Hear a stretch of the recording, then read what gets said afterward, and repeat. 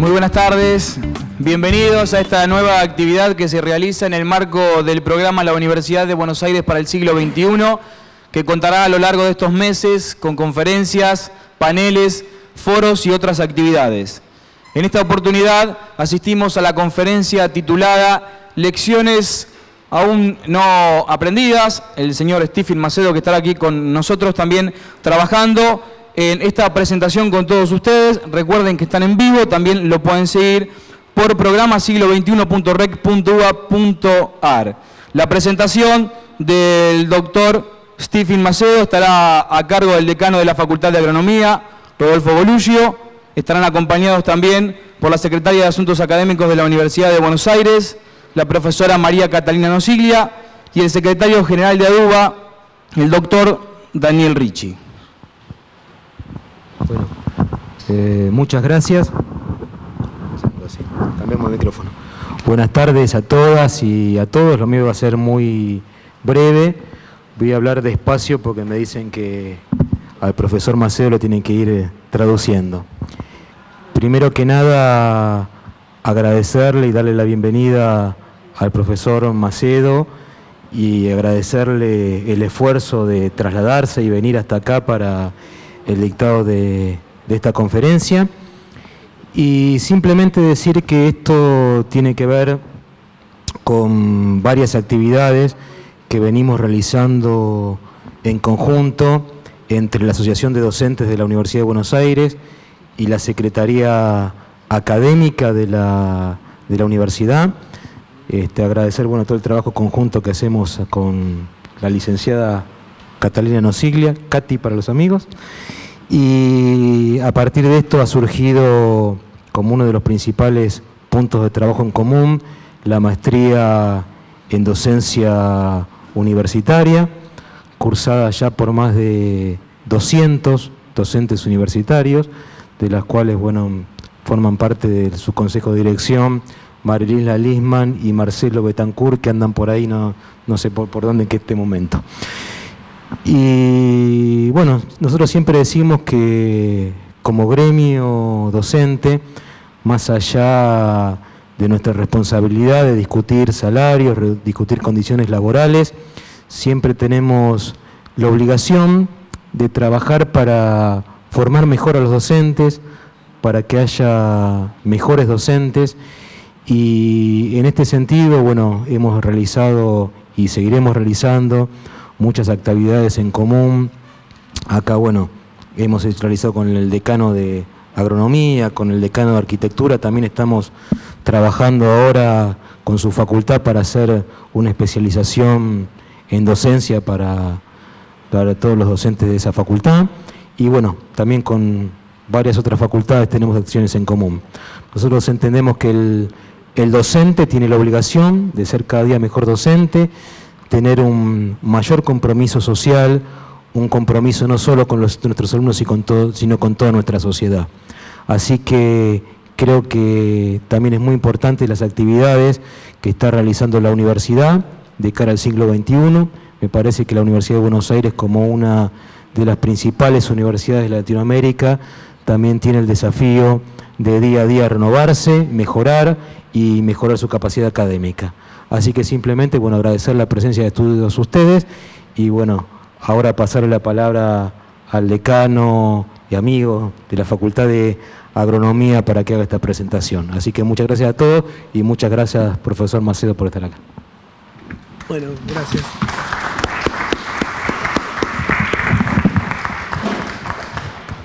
Bueno, gracias. Eh, eh, esta conferencia se enmarca en el programa de la UBA para el siglo XXI y que es un programa establecido por el Consejo Superior de la UBA para debatir qué tipo de universidad necesitamos para el siglo XXI.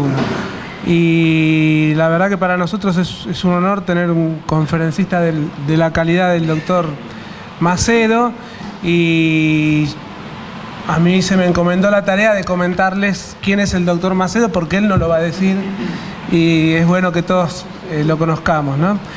El doctor Macedo es obtuvo un PhD en ciencia política en la Universidad de Princeton y la eh, y también posee estudios de máster en Historia del Pensamiento Político y en Ciencia Política. Es profesor de políticas en la Universidad de Princeton y en esa misma universidad es director del Centro Universitario para los Valores Humanos desde el año 2001. Eh, comenzó su carrera como docente en la Universidad de Harvard, en el Departamento de Gobierno, y luego se desempeñó en la Universidad de Siracusa. Escribe y enseña sobre teoría política, ética, políticas públicas y leyes especialmente sobre temas relacionados con el liberalismo, democracia y ciudadanía, diversidad y educación cívica, religión y política y familia y sexualidad. Un espectro amplio de temas.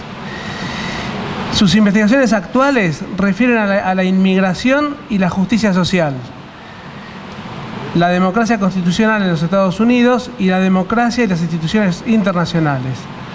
Desde 2001 hasta 2009 se desempeñó como director del Centro Universitario para los Valores Humanos, como dijimos antes, y como director y fundador del programa de Derecho y Asuntos Públicos, presidió el proyecto Princeton sobre jurisdicción universal. Ayudó a formular los principios de Princeton sobre la jurisdicción universal y editó un libro titulado Jurisdicción Universal los tribunales internacionales y la Fiscalía de graves crímenes bajo el derecho internacional.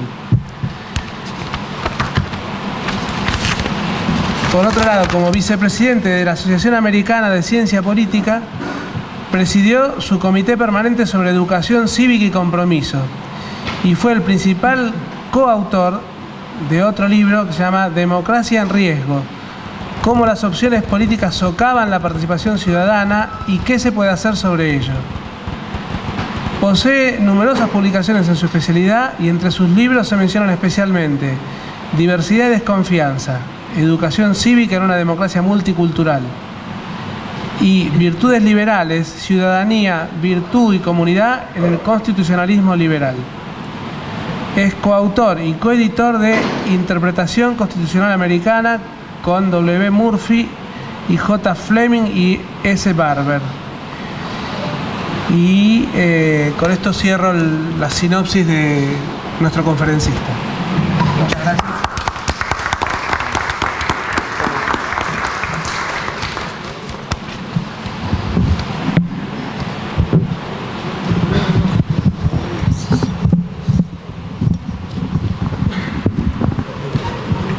Uh, muchas gracias, and uh, I apologize that that's the extent of my knowledge of Spanish. Se disculpa porque eso es todo lo que sabe de castellano. Uh, thanks to uh, Kati uh, Nocilia and uh, my hosts here, Julio Montero and uh, Mariano Gar Garrett Leclerc, uh, who have been wonderful hosts for my week here in town, and thanks to you all for coming. Agradece a Katy Nocilia y a Julio y Mariano por que han sido grandes, eh, lo acogieron muy bien y lo ayudaron.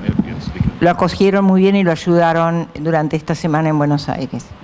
Okay, so my subject is civic education, and I understand it as helping to bridge the gap between uh, democratic ideals uh, and realities, how to improve the competence of citizens. And part of what I'm going to talk about is evidence in the United States about how little citizens know about politics and how inattentive they are. Su tema es la educación cívica y va a tratar de mostrar la situación en Estados Unidos y básicamente señalar lo poco que se saben los ciudadanos sobre el tema, especialmente en Estados Unidos, y qué poco interés demuestran. Okay, so, so three examples. Uh, just before the 2004 election, half of all Americans thought that the Iraqis were among the 9 11 hijackers that uh, hit the World Trade Center. Of course, they weren't. Uh, at the height of the Cold War, a majority of Americans didn't know whether Russia was a member of NATO, the North Atlantic Treaty Organization, which of course it was opposed to. Uh, and um, shall I go through the third? Uh, and, and this also plays out in uh, their opinions about domestic policy. So in the George W. Bush administration before Obama, uh, uh, one of the most surprising things was how many Americans supported repeal of the estate tax the tax on inheritance uh, that only applied to very wealthy people. uh, uh, and Bush wanted to cut and eliminate the tax on estates of more than $1 million, uh, paid by only the top 1 or 2% uh, of Americans. And even those Americans with the lowest incomes, less than 50,000 a year per family, who favor more government spending and who think that the rich pay less than their fair share in taxes, 68% of those Americans favored repeal of the estate tax for no reason that one can possibly uh, imagine. Eh, va a dar ejemplo, da tres ejemplos sobre la ignorancia de los votantes. El primero es que antes de, 2000, de la elección de 2004, la mitad de los estadounidenses pensaban que los iraquíes estaban entre los piratas del 11 de septiembre. El segundo ejemplo es que en, en, la cúspide de la Guerra Fría, la mayoría, la mayoría de los estadounidenses no sabían si Rusia pertenecía a la OTAN o no. Y el tercero, que tiene que ver con la política interior de Estados Unidos, dice que en, en la época del gobierno de Bush quiso cortar, de hecho quería pasar, eh, quiso cortar los impuestos, los impuestos federales, y tuvo un enorme apoyo perdón, de la población sobre la revocación del, del impuesto federal, que es como la tasa, el impuesto a la herencia. Inclusive eh, eh, que se aplicaba solamente a la gente que tenía propiedades de más de un millón de dólares. Y esos impuestos los paga solamente el estrato superior, superior del público, que es el 1 o 2% de la población. Entonces, inclusive los estadounidenses con los ingresos más bajos, gente que gana menos de 50 mil pesos por año, para toda la familia, que quieren que el gobierno invierta más dinero y que piensan que los ricos pagan mucho menos de lo que les correspondería. Sin embargo, entre ellos el 68% favoreció la revocación de los impuestos. So this is from work by my colleague, or former colleague Larry Bartell's article called Homer Simpson Gets a Tax Cut, uh, in which he uh, describes that two-thirds of Americans seem not to understand that the single most important fact about the estate tax was that it's paid only by very wealthy people. And this was at the end of a period of rapidly rising economic inequality uh, from 1981 to 2001. Uh, I won't give the details, but the share of national wealth going to people at the very top rose considerably, and the share of wealth going to the bottom declined uh, considerably. Uh, uh, so one of the great problems for civic engagement in the United States has been this rising economic inequality uh, that the public seems not to have a very clear sense of at all. Eh, esto, este dato lo saca del, del, un trabajo de un colega de él, Larry Bartels, que se llama Homero Simpson obtiene un corte de una reducción de impuestos. Y dice que dos tercios del público estadounidense no parece entender que el factor más importante de la, de la, del impuesto federal es que solamente está, lo paga la gente muy, muy rica. Y todas estas expresiones, estas opiniones, se expresaron al final de un periodo donde creció enormemente la inequidad económica. Entre 1981 y 2001 aproximadamente, eh, cómo compartían, cómo se distribuía el ingreso nacional, iba de las familias que están al 40% abajo de la distribución, bajó más o menos un, un quinto, una quinta parte, de 17,4% en 1973 a 13,9% en 2001. Mientras que la parte que le toca al 5%, que está en la, escala superior, eh, aumentó en un tercio, o sea, de 15,5 a 21%. A 21%. Entonces, mientras tanto, la, eh, cómo compartían el, el, los ingresos iban del un décimo de la población al 1%, se cuadruplicó entre 1970 y 1998 y dejó a las 13.000 familias más ricas de los Estados Unidos con tantos ingresos como las, en los 20 millones de las familias más pobres. How far did you get? How far did you go? Here. Okay, great. So, uh, and the causes are partly, of course, of this rising inequality, globalization, uh, developments in the world that are in the background of politics, but a big part of the explanation for rising economic inequality is government policy. policies that favor uh, the better off uh, and, uh, uh, and not uh, the less well off. Entonces, las causas de esta creci- este crecimiento enorme en la inequidad son varias. Una de ellas, en parte, es la globalización, pero también las políticas del gobierno que favorecieron a los ricos.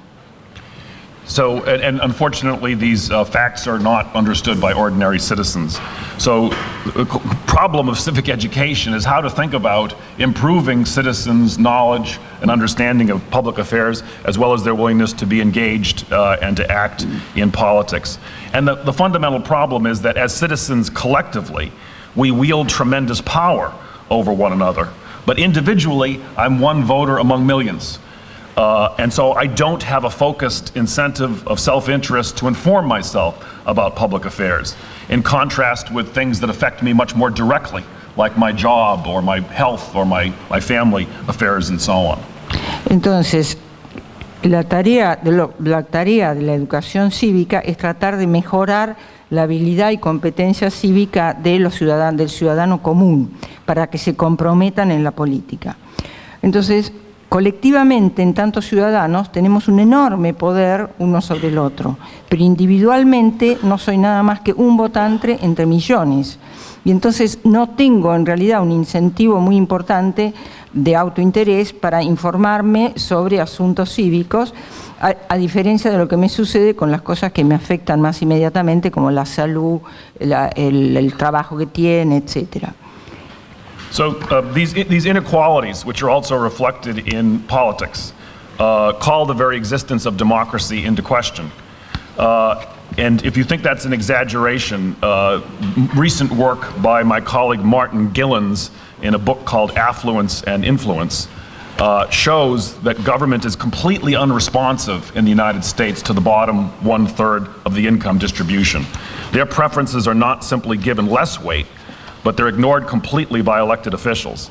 And Gillens himself concludes that the representational biases of this magnitude call into question the very democratic character of our society. Entonces, lo que dice es que esto, todo esto cuestiona la democracia misma y por qué tiene un impacto tan grande esta inequidad sobre cómo responde el gobierno a los distintos sectores de la población. Menciona un trabajo de un colega, Martin Gillens, que dice que el gobierno no le interesa en lo más mínimo el tercio inferior de la población.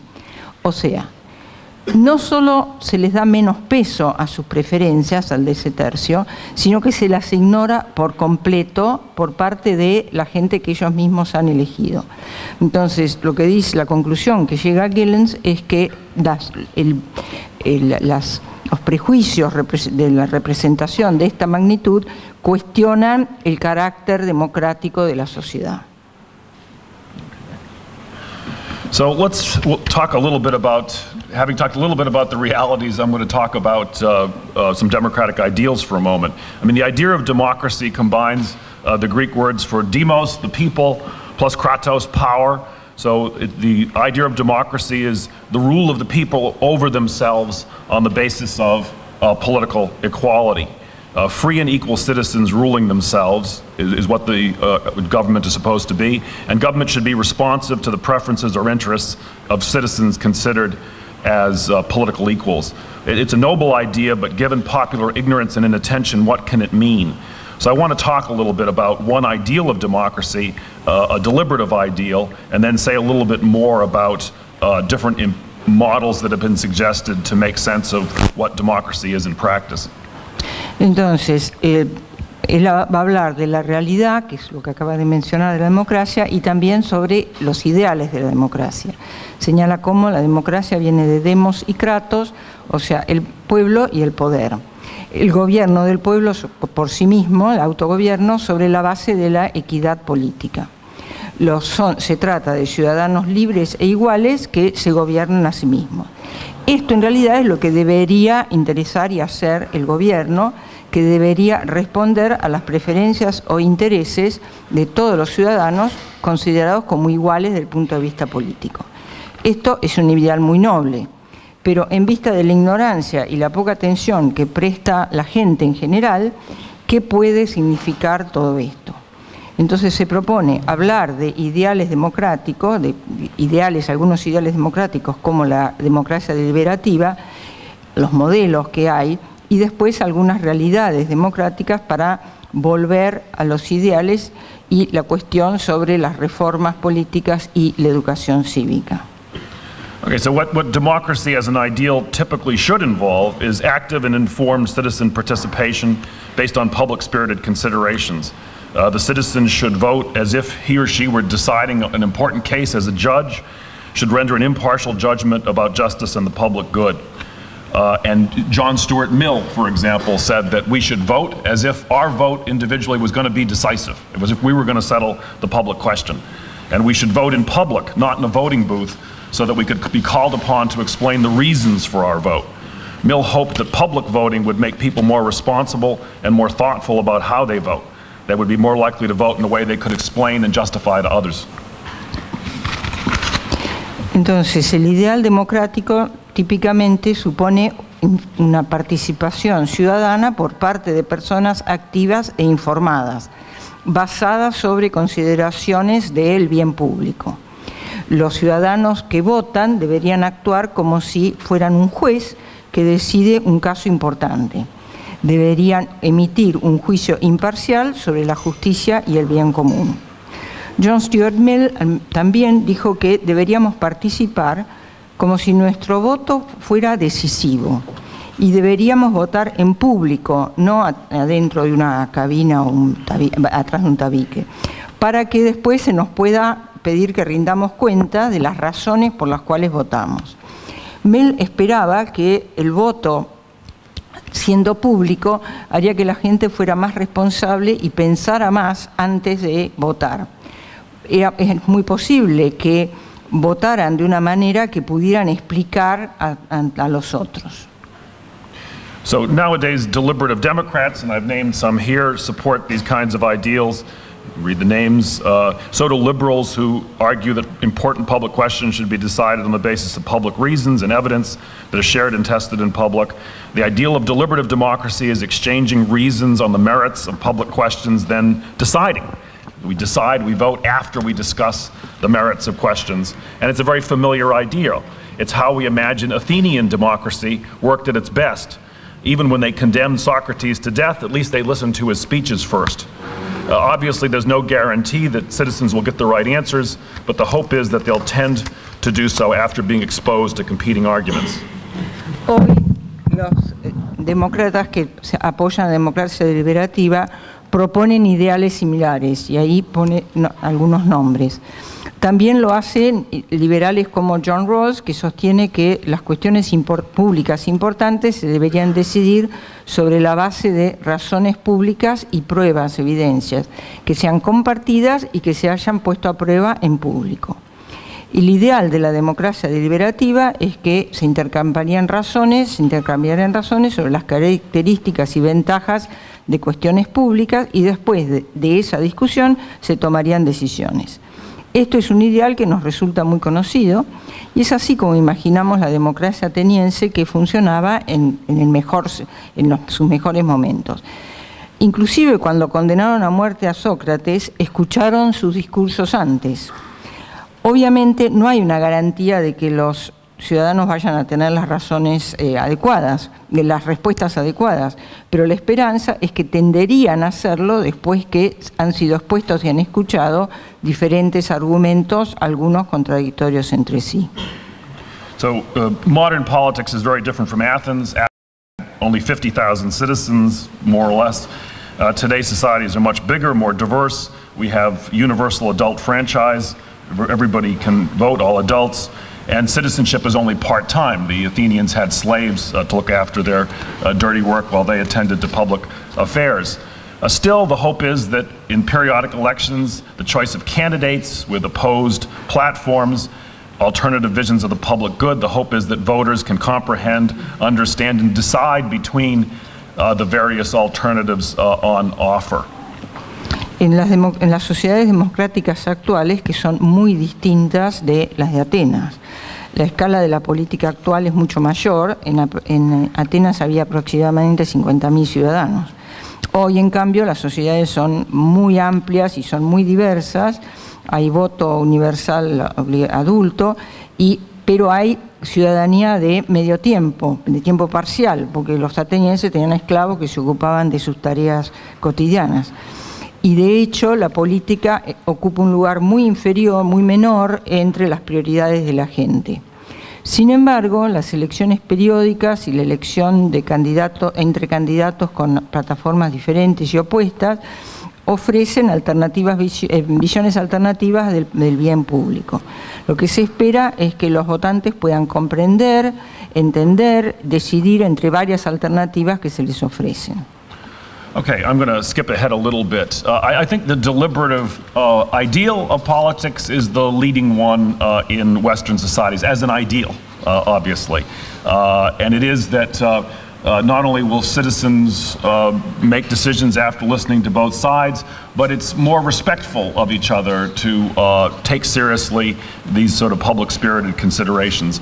But what I want to do next is to describe uh, three models of how democracy works that comes out of political science that actually attempts to uh, sort of get a picture of how citizens actually behave.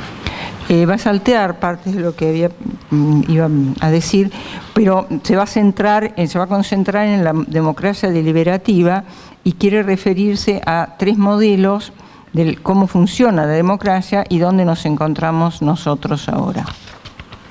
So I'm going to talk about three models uh, of how democracy uh, works that come out of uh, 20th century uh, political science in the United States. Uh, the first model is what Joseph Schumpeter, uh, whose name is there, called the classical conception of democracy. And his book is Capitalism, Socialism, and Democracy, a very good book from 1945, I think, or something like that. But it's a very good book, it holds up. Uh, and his classical uh, ideal of democracy was very straightforward. Uh, the public should form views about public affairs, form policy preferences, have having thought about the issues. Uh, in elections, the public selects candidates for office who best represent their views, and then the winning representatives assemble to carry out the policies that uh, the citizens have selected them to carry out. Very simple, straightforward, a kind of transmission belt model from public opinion the selection of representatives, and the enactment of public policy.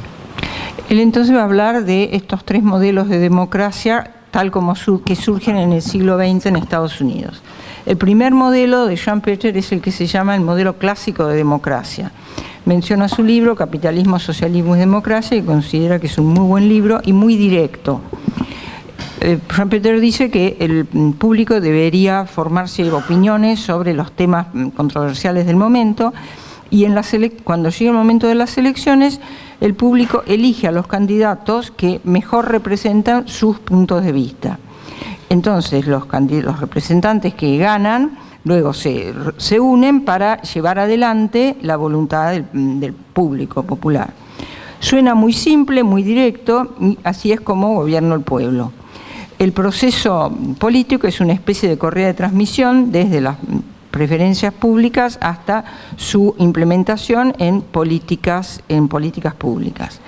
Y las elecciones proporcionan al que ganó el mandato de llevar adelante la plataforma e implementarla que explicó y defendió durante las elecciones, especialmente si ganan por un margen significativo.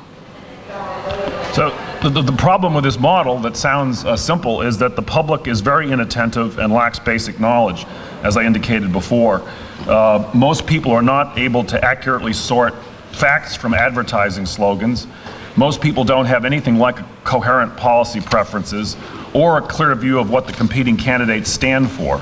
Rather, what most voters have are vague impressions that are formed during a campaign, typically based on superficial factors which candidate looks more confident, which one do you identify with, who would you like to have a beer with, or something like that. There simply are very few sophisticated voters. Most know very little about candidates, they know very little about what the parties stand for. Entonces, el problema de algo que suena muy simple es que el público no presta mucha atención y carece de, de conocimientos básicos. No son capaces de discriminar entre hechos y datos y eslóganes o propaganda política no tienen nada similar a preferencias políticas co coherentes o un punto de vista claro sobre qué es lo que representa cada candidato que está compitiendo. En lugar de eso, lo que tienen son impresiones muy vagas que se van formando durante una campaña, normalmente basadas sobre factores muy superficiales. ¿Qué candidatos parecen más seguros de sí mismos? ¿Con quiénes me identifico? ¿Con quién les gustaría tomar una cerveza? So uh, Schumpeter and also Walter Lippmann, another mid 20th century commentator, formed these views before sophisticated public opinion polling. But once political scientists started doing sophisticated public opinion polling, they found that these people were exactly right. Only 10 to 15% of the public has a clear view of what issues separate the party on the left and the party on the right. Only about 10 to 15 percent of the public can identify what issues go along with being a liberal party or a left-wing party and what issues go along with being a conservative party. Uh, eh, eh, well, attentive people tend to talk to each other, so we tend to think that voters know a lot more because maybe we pay attention to politics. But the vast majority of voters don't pay attention to politics, and they don't have anything like a structured, coherent view of what you know, makes up both sides of a left-right spectrum uh, something as simple as that. Entonces, el, en los críticos de la democracia del, de mediados del siglo XX, como Schumpeter y Walter, Walter Lippmann y otros, comprendieron muy bien, antes de que hubiera encuestas de opinión, el escaso nivel de competencia o capacidad de la mayoría de los votantes. Estos, estas encuestas de opinión muy sofisticadas y la, ciencia política empírica confirman esa evaluación que habían hecho Jean Peter y Lippmann y otros que sobre la falta de atención o, o habilidades y conocimiento de la mayoría de los votantes. Las, las, élites políticas, aquellas que sí prestan mucha atención a la, a la, política y lo que sucede, tienden a conversar entre ellas, se suponen que los miembros del público son iguales a ellos. Sin embargo, solamente alrededor del 10% del público tiene una idea más o menos razonablemente sofisticada sobre la política. Sus puntos de vista exhiben cierto mm, cuidado, eh, saben que los republicanos de los Estados Unidos son más conservadores y que los demócratas son más liberales, saben qué tipo de preferencias en cuanto a políticas que se tienden a asociar con la izquierda y cuáles se tienden a asociar con la derecha. Uh, So we have to forget about Model 1. It doesn't work. Uh, the public doesn't know enough. So political scientists then came up with another model, which, which is easier for voters. And it's called the model of retrospective uh, voting, which is to say, uh, the hope is that citizens can still competently select among representatives by voting retrospectively. How have the incumbents done? Voters should at least be able to see sort of what conditions are over the time period the last few years and render a kind of judgment about the incumbents and throw out the incumbents if they haven't done well. Uh, so Ronald Reagan famously asked the question, are you better off than you were four years ago when he ran against Jimmy Carter? And so the thought here is that at least voters should know that, you know, know whether they're better off, whether they've done well under the incumbent uh, president. And that's retrospective voting as a model of citizenship. Entonces, bueno, olvidémonos del modelo 1, la concepción clásica de democracia, y va al modelo 2, creado que se llama eh, votación retrospectiva. La esperanza es que los ciudadanos sí pueden adecuadamente elegir entre los representantes votando retrospectivamente, es decir, cómo funcionaron los que están ahora en el poder y a partir de ahí tomar decisiones. Y da el ejemplo de la famosa pregunta de Ronald Reagan cuando en la elección de 1980 contra Jimmy Carter, que estaba en el poder, la pregunta que hizo es, ¿a usted le fue mejor en los últimos cuatro años? Entonces la esperanza era que la gente por lo menos pudiera saber si le había ido mejor. Entonces dice que va a volver sobre esto. And this actually echoes some observations of Aristotle, uh, that the public may not be good at formulating public policies, but at least they know, uh, they experience the effects of public policy. As he put it, the diner, it's the diner, not the chef, who's the best judge of a meal, and at least the public should know where the shoe pinches. They may not be able to make a shoe, but they should know whether it fits or not. So th that's the idea behind retrospective voting. They're at the receiving end of government policy, so they should at least be able to make a judgment about whether it's working or not. Entonces, el, la pregunta esta de Reagan tiene ecos de la observación de Aristóteles de que el, sobre cuando dijo que el público puede no ser muy bueno formulando políticas públicas, pero al menos tienen experiencia de los efectos. O sea, es el comensal el mejor juez de la comida y no el chef que le hizo la comida. El público por lo menos debería saber dónde le duele el zapato. Quizá no puede hacer un zapato, pero debería darse cuenta qué es lo que pasa con el zapato. Uh, so, uh, but there are problems with this model too, as it turns out. For one thing, the public has a very short memory. Uh, it turns out that the evidence suggests that they only remember the last three to six months. So they completely forget everything else that happened before. So with an election coming up in November, they'll form a view over the summer, and everything depends upon what the conditions are in the summertime. And the, if the conditions are good in the summertime, they'll vote in favor of the incumbent, but things may have been very bad for the previous three and a half years. Uh, so that's one problem. Entonces, eh, si bien parecería que este modelo funcionaría, también tiene problemas. Porque los votantes tienen memorias muy cortas, entonces cuando votan solamente se acuerdan de los últimos tres o seis meses antes del día de las elecciones. Entonces, si las elecciones son en noviembre, se van a acordar cómo fue el verano, si fue bien, si no hubo mayores problemas, votan al candidato, al que está en ese momento en poder, y si no, no. So, uh, and it turns out, according to my colleague uh, Larry Bartels again, I don't have the title look there, but it's called The End of Equality, that Republicans in the United States have been better at manipulating economic conditions in those three to six months. So they've had more of an advantage uh, when it comes to uh, uh, elections uh, that have been close. The other problem is, though, that voters are not good at distinguishing between circumstances for which incumbents have no responsibility and uh, effects of policies. So, for example, uh, Aiken and Bartels find in the article called Blind Retrospection that the public will often vote against the incumbent based on things like whether there's been a drought or uh, there's also a famous one where there were shark attacks uh, on the New Jersey shore, and people voted against the incumbents because of these shark attacks. Uh, so, uh, and they even looked and see the closer you got to the beach, the more people voted against the incumbent, you know, where the shark attack took place. Uh, so they, they tend to hold incumbents responsible for things that they're not responsible for.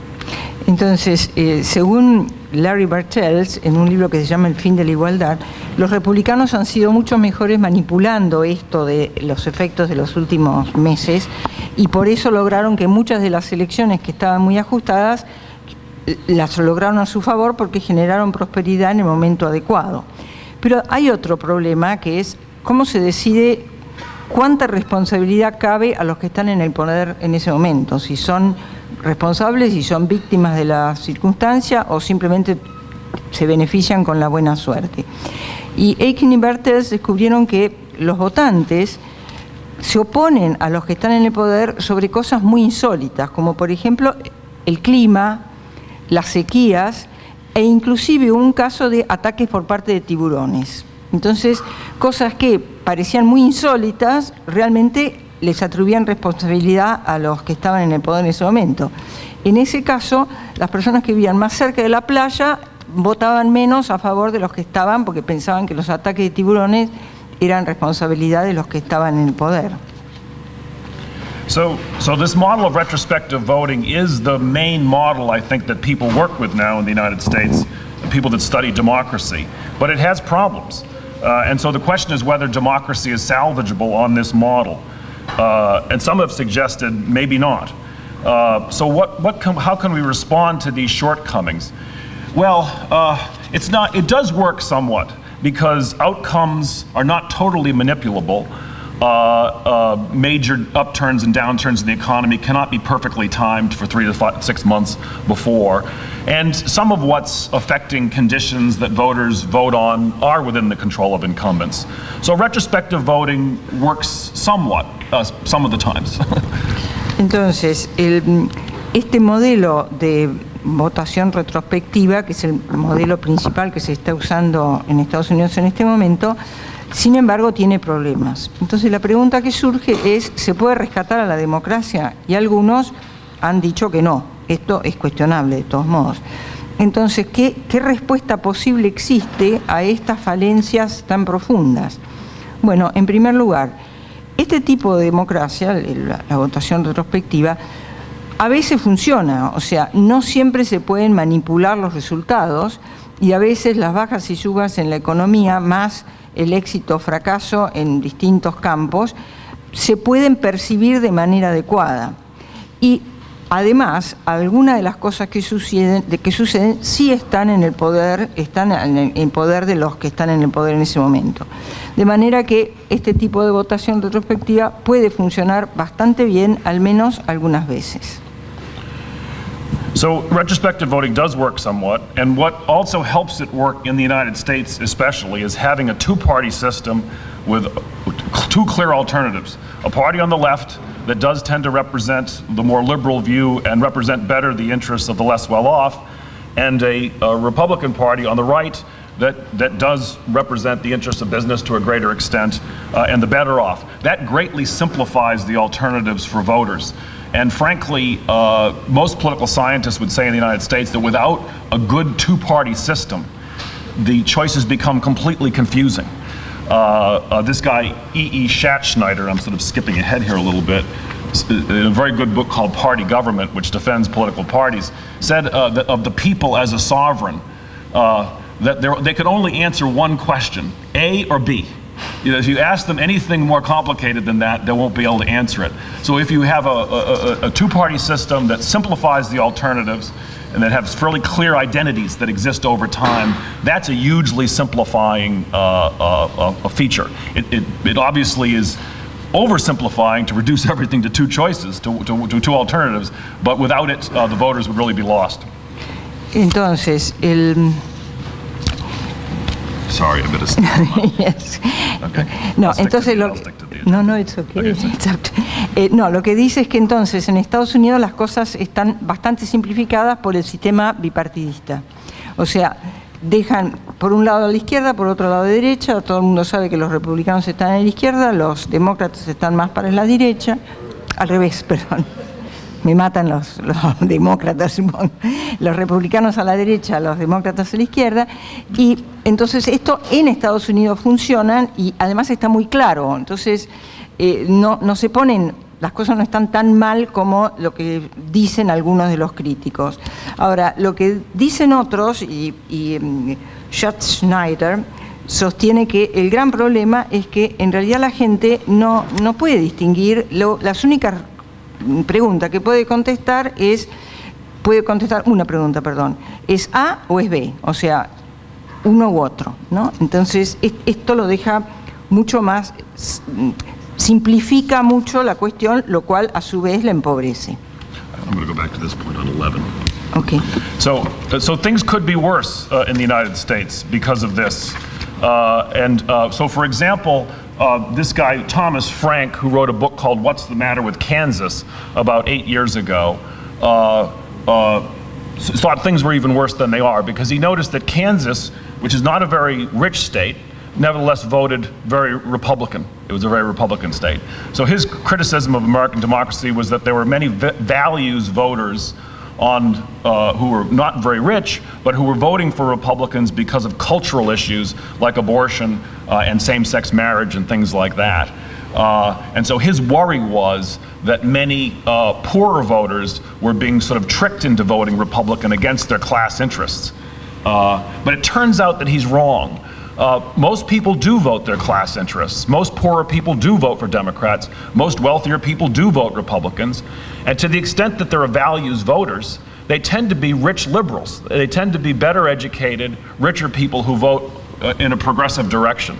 So, uh, and they're not being fooled, actually. They have uh, you know, ideological reasons. Of course, some of the poorer people who care about abortion and same sex marriage, it's also not uh, irrational to do that. But most people do vote based on their class interests, and that means that the left right spectrum helps to order people's preferences in a rational way. Entonces, el, las cosas no están tan mal como parece, como dicen los críticos de la democracia, y da como ejemplo lo que escribió Thomas Frank en un libro que se llamó ¿Qué pasa con Kansas? Eh, Kansas es un estado que es republicano, pero no es rico, y sin embargo eligen a los republicanos. Entonces, cuando se hacen eh, críticas de la democracia de Estados Unidos, una de las críticas que se hace es que hay votantes por razón, hay votantes de valores, hay votantes por razones, gente que vota por razones éticas. Y lo que se sostiene es que la gente de, pobre, los trabajadores en general, se los manipula para que voten a los republicanos basados sobre temas como el aborto y el, el matrimonio igualitario, se trata de guerras culturales en lugar de votar sobre la base de sus intereses económicos. O sea, inclusive en contra de los intereses de clase. O sea, se está manipulando a los pobres. Eh, lo que él sostiene es que esto no es tan así y que en general lo que se observa es que la gente sí vota sobre la base de intereses de clase, los que tienen eh, menores eh, ingresos sí votan por los demócratas y los ricos tienden a votar por los republicanos. Y los demócratas representan mejor los intereses de la clase media, mientras que los ricos les va mejor, o todavía mejor, eh, con respecto a otros bajo los republicanos. Entonces, en términos generales, los votos sí son racionales y esto de la derecha y la izquierda sí funciona. Entonces, si en la medida en que hay votantes que votan por razones éticas contra su, interés, su autointerés económica, no es solo gente pobre la que está manipulada y que vota a los republicanos. Hay muchos de estos votantes por valores que son demócratas liberales, están, tienen mejor educación y son más ricos, pero votan contra los intereses de clase por razones de porque son progresistas. So um, parties are very important uh, in making democracy work realistically. And lately, uh, two political theorists, Nancy Rosenblum at Harvard and Russell Muirhead at Dartmouth, have defended uh, partisanship as a model of democratic citizenship as an alternative to deliberative democracy. Rather than encouraging citizens to think critically about issues, we should encourage them to affiliate with a party and to be party supporters, as it were. Entonces, los Los partidos sí son muy importantes y da el ejemplo de lo que han hecho Nancy Rosenblum y Russell Muirhead, que lo que hacen es decir que sí es, juegan, eh, tienen, tienen razón esto de los partidos políticos son importantes y que desempeñan un papel importante en las democracias eh, masivas modernas como hemos visto, organizan, ayudan a organizar las opciones que los votantes tienen que enfrentar y permiten que los votantes se afilien con una asociación u otra de votantes y con profesionales de los partidos que defienden un enfoque general de la gobernabilidad del gobierno. So, and I'm going to go into 14 now. Um, you know, there are two criticisms that one might uh, articulate of political parties. Is that one is that it oversimplifies things, and people may not want low taxes, which is one Republican thing, to go along with anti-abortion, say, which is another Republican thing. You may not want those to go together, or you might want a progressive social policy but be against same-sex marriage, and so you, you may not want those things same-sex marriage and and and uh, more progressive social policy to go together. They do oversimplify things. And then the second criticism uh, is uh, that uh, this idea of being a partisan associated with a political party seems less morally attractive in some ways than being independent minded. Uh, thinking about the issues for yourself, making a decision for yourself based on the whole range uh, of issues uh, seems like a more attractive attitude for a citizen to have. Um, the problem is that at least as a, as a general matter, independents in the United States know least about politics uh, and participate the least. Uh, so, so in fact, that in spirit of independent mindedness tend not to, tends not to go along with uh, being dissociated from a political party. Entonces, dos críticas que se le hacen a la democracia es que sobre simplifica demasiado las cosas, entonces ahí se presenta el problema de que por un lado en el mismo partido se proponen eh, impuestos más bajos, pero al mismo tiempo se propone el aborto. Entonces a, muchos no les puede resultar bueno esto porque eh, no quieren, sí quieren tasas bajas, pero no quieren el aborto, o al revés, y por el otro lado uno puede estar en, un, en unas políticas sociales muy progresistas, pero no apoyar el, matrimonio igualitario o, viceversa. Entonces el tema es que igual se sigue pensando que es mejor estar en un par, pertenecer a un partido que ser independiente. Y el hecho que él señala es que los, los independientes, los que como que se cortan solos, saben mucho menos y se interesan mucho menos en la política que los que sí pertenecen a partidos. skip to 16. 16. So, uh, so Muirhead says this about political parties. Uh, the way he puts it, defending political parties is partisan loyalty is beneficial because partisans have the memory and patience necessary to achieve political goals. In a world of constant political competition, enacting stable policies requires more than just a transitory coalition. It involves the memories of past victories, ongoing support, patience in judging the success of parties' actions. As he puts it, politics requires patience, and patience takes loyalty, and that's supported. That, that's facilitated and supported by by uh, affiliating with a political party. Entonces, eh, Muirhead defiende los partidos políticos y sostiene que la lealtad al partido es algo beneficioso porque los que están en, pertenecen a partidos tienen la memoria y la paciencia necesaria para lograr objetivos políticos. En un mundo que está en competencia política constante, establecer y instrumentar políticas estables requiere más que una mera coalición transitoria. Implica el recuerdo de victorias pasadas, el apoyo constante y la paciencia para juzgar el, éxito de las acciones de un partido. Como dice Morgan de manera muy sintética, la política requiere paciencia y la paciencia requiere lealtad. Okay, so so these two, Rosenblum and Muirhead offer defensive parties. The problem is that they don't pay enough attention to the weakness of parties. They would dismiss deliberative democracy as an ideal, but in fact, we need some deliberative democracy to correct for the weaknesses of parties. And the main weaknesses of parties, and I'm on 17 here, yeah, are that uh, the two problems with, with, with, being, a, being a partisan in politics are motivated reasoning and in group favoritism. Put it briefly, uh, those who are party loyalists tend to think that the president who's a member of their party can do no wrong, and the president who's a member of the opposing party can do no right. They also tend to make factual judgments based on the commitments of their party. So in the United States, Republicans tend not to believe in climate change, uh, irrespective of what the facts suggest, because that's the uh, platform of the party. So uh, pure partisanship means the end of reflective critical judgment in politics. And it's a sort of attitude that encourages Republicans to dismiss evidence of man-made contributions to climate change because doing so is not part of their, their partisan script, as it were. Eh, entonces, Rosenberg y Muirhead, si bien defienden a los partidos y lo hacen bien, lamentablemente son mejores hablando de las contribuciones del partidismo que notando sus defectos.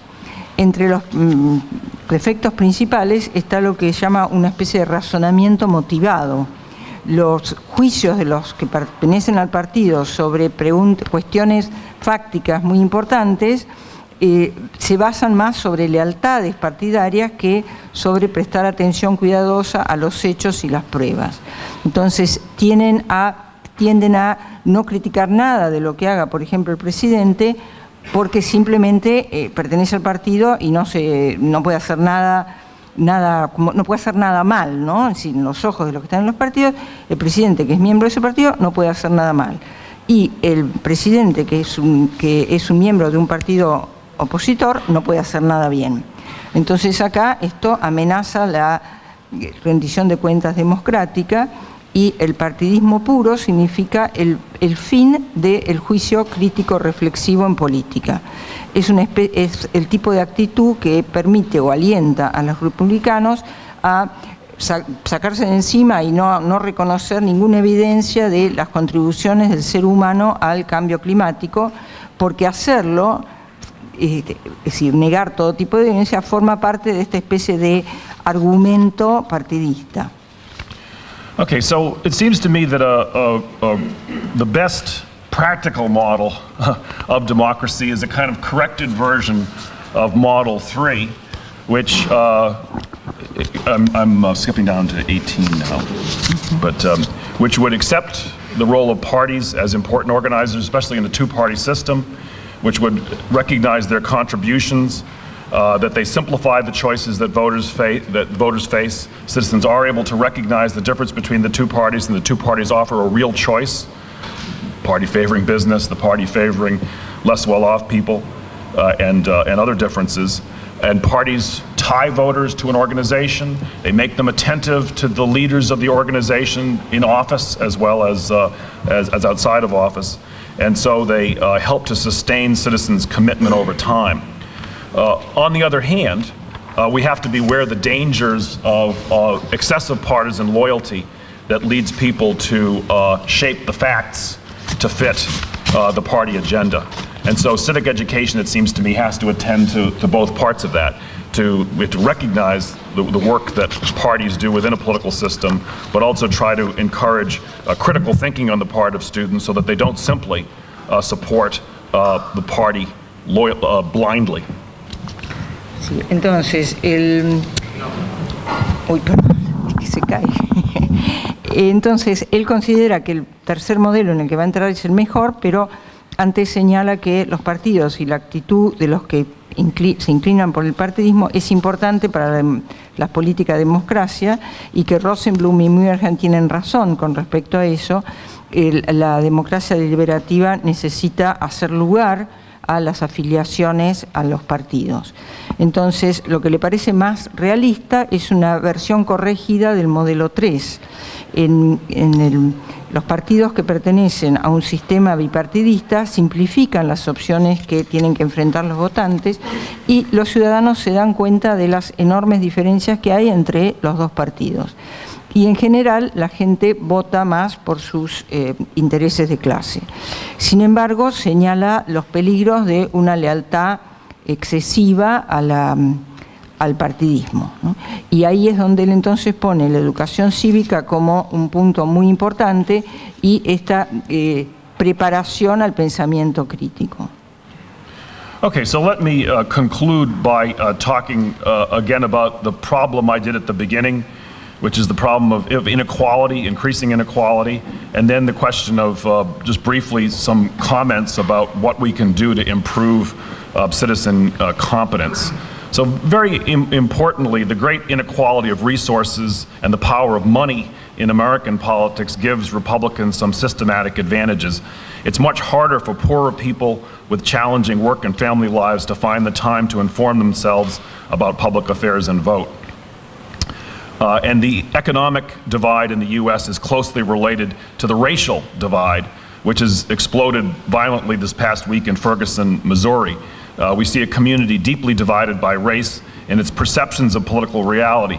A large majority of white people trust the police to fairly investigate the shooting of the young black man who was shot by police, but only a small minority of the African Americans trust the police to investigate the shooting.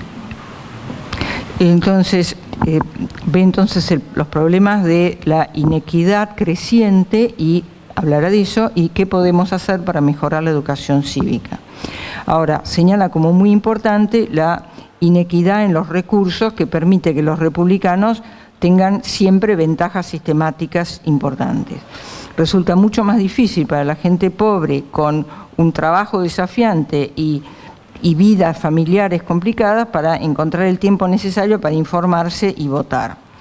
Y junto con esto se habla de la división económica muy fuerte en los Estados Unidos, que es una división, además de la económica, es la división entre las razas, que ha explotado violentamente en esta semana en Ferguson, Missouri vemos una comunidad muy dividida acerca de la raza en sus percepciones de la realidad política.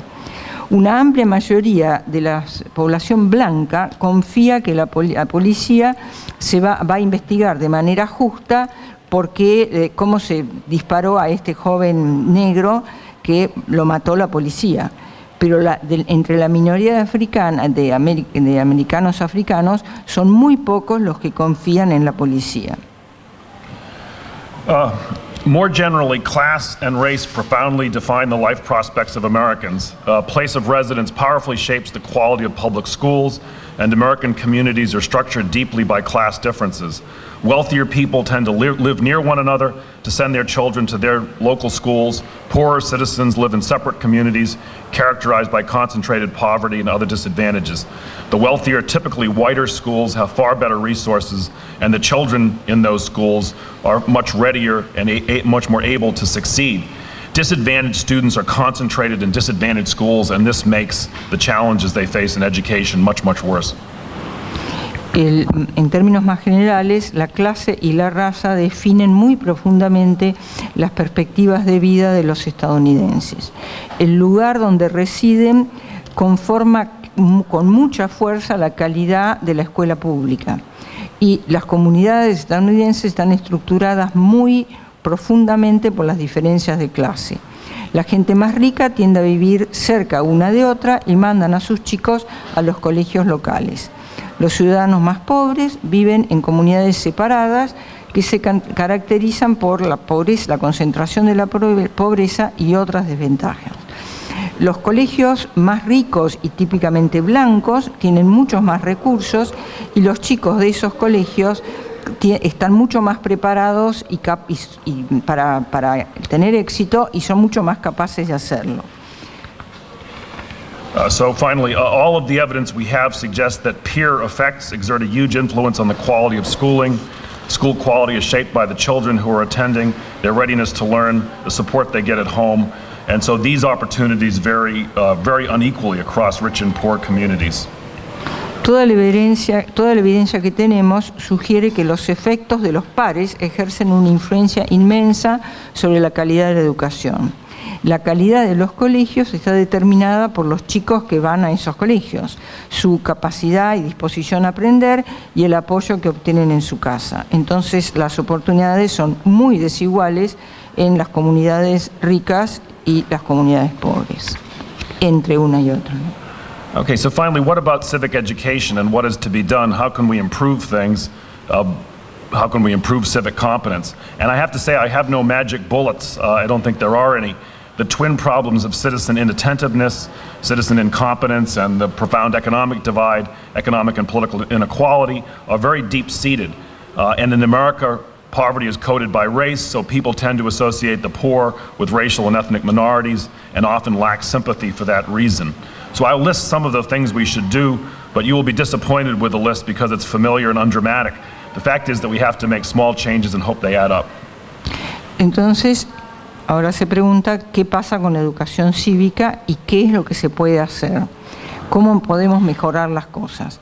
Dice, bueno, acá no tengo más eh, balas de oro, de hecho no hay balas de oro, los problemas paralelos de falta de atención o incompetencia de los ciudadanos y la división económica y política que genera la igualdad están muy profundamente asentadas y enraizadas.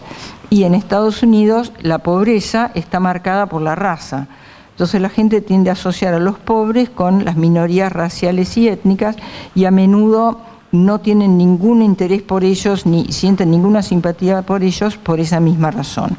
Entonces va a ser una lista de algunas de las cosas que se pueden hacer, pero se sentirán ustedes frustrados por esa lista porque resulta muy conocida y no es nada espectacular. El hecho es que debemos hacer cambios pequeños y esperar que esos cambios pequeños sumen uno con el otro. So, one important thing that we need to do in the United States is one you already have done here, uh, though I gather it's not well enforced, which is mandatory voting. Uh, Australia also has it. Uh, that seems to help, at least in Australia, reinforce the social norm that everyone should participate, and it seems to help require public officials it would in the United States to make voting places more fully publicly accessible. It would increase popular demands for better access to the polls and hopefully also encourage attention to politics. In general, we need to reinforce social norms to the effect that people have a duty to vote. It's a sentiment that is widely felt in the United States, even if not always acted upon. And people will say things like, if you don't vote, you have no right to complain. You hear that said very often, which is a good thing for people to say. Uh, they, should, they should vote. Uh, recent research suggests that social media can be used creatively to tell people uh, that it's being noticed whether or not they vote. Uh, mailings that outline their neighbor's voting history have helped to increase turnout significantly. Entonces, uno muy importante en Estados Unidos, que es algo que acá ya tenemos en la Argentina y también en Australia, aunque cree que no está muy bien implementado acá, es el voto obligatorio. En Australia señala que trabaja, parece trabajar funcionar muy bien porque refuerza la norma social de que todos deberían participar y permitiría exigir a los, a los funcionarios públicos que hagan que los lugares de votación sean muy accesibles por todo el público y también aumentaría las exigencias populares para tener un mejor acceso a los lugares de votación.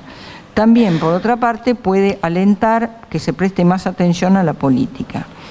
En general, tenemos en Estados Unidos tienen que reforzar las normas sociales para que, que señalen que la gente tiene el deber de votar.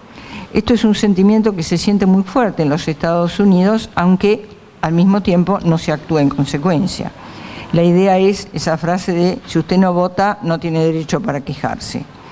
Entonces, la, la, investigación reciente sugiere que los medios sociales se pueden usar de manera creativa para sugerirle a las personas que se está notando si votan o no. Este, envíos de, correos, así que señalan la historia de votación de sus vecinos, han ayudado a incrementar la presencia en las, votaciones, ¿no? la cantidad de gente que vota. in, addition, uh, the political parties, voter outreach, the Obama campaign has done a very good job of contacting people by email, and, and that seems to have helped somewhat. Now, all of this could be supported by the actions of people mobilizing their peers. Uh, research shows that if, if you have friend, you know your friends are voting, if you contact your friends and you encourage them to vote, uh, that actually is effective uh, at, uh, at getting people to vote. And this is supported uh, by churches, clubs, and associations uh, that are very good political mobilizers. People will participate when their friends and neighbors ask them to, and when groups that they belong to help generate supportive social norms. This has been shown by Robert Putnam in his book Bowling Alone. And this could be reinforced in schools as well, where we might uh, recognize young people's first vote, for example, but pay more attention to elections as they're coming up. Eh, también está las, cómo hacen los, los, partidos políticos para dirigirse más a la gente y da como ejemplo la campaña de Obama con emails y ese tipo de comunicaciones que ayuda mucho. Y también podría ser apoyado este incentivo a votar por las acciones de gente que se dedican a movilizar a sus pares para que vayan a votar. Y se reconoce que las iglesias, los clubes y las asociaciones son grupos que movilizan mucho desde el punto de vista político. La gente está más propensa a participar cuando sus amigos y vecinos les piden que participe y cuando los grupos ayudan a generar normas sociales que apoyan todo esto. Esto lo mostró bien Robert Putnam en, un libro que se llama, creo que es el último libro, que se llama Bowling Alone. Esto debería ser reforzado en los colegios también incluyendo la posibilidad de reconocer el primer voto de los jóvenes. I'm going to skip down to here at the bottom. So we know a bit about different ways in which civic education can help to encourage participation. Uh, and a lot of this is common sense, but the research tends to confirm it. A very good book by David Campbell is called Why We Vote, for example. And he points out taking civics classes, classes about how the political system works, contributes to civic knowledge traditional American public schools don't do an especially good job uh, with respect to this or various other aspects of civic education. Catholic schools in the United States actually do better, uh, and they tend to focus more on uh, political knowledge and uh, encouraging uh, children to have a civic orientation. There's also some evidence that volunteer programs in school, or service learning as it's called, help to provide children with pathways to participation in later life. And there again, students in Catholic schools in the United States and other non-public schools are more likely to participate in community service programs while in school than children in public schools. So with respect to that dimension of civic education, preparing for civic activity, surprisingly enough, non-public schools in the U.S. appear on the whole to do uh, better, uh, or at least as well as public schools. Si sabemos algo sobre las distintas dimensiones de la educación cívica. Los estudios sistemáticos tienden a confirmar el sentido común. ¿Lo ven? ¿Lo escuchan? Entonces sabemos algo sobre las distintas dimensiones de educación cívica. ¿Se escucha? Pero hay algo que, algo que interfiere. Oh, is it feedback? Oh, sorry. Is this or something? Ahora.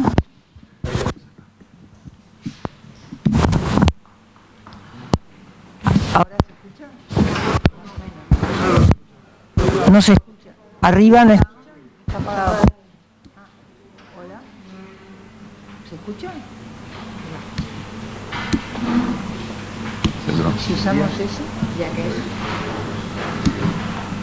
¿Y si usamos el mismo? Hola. Sí.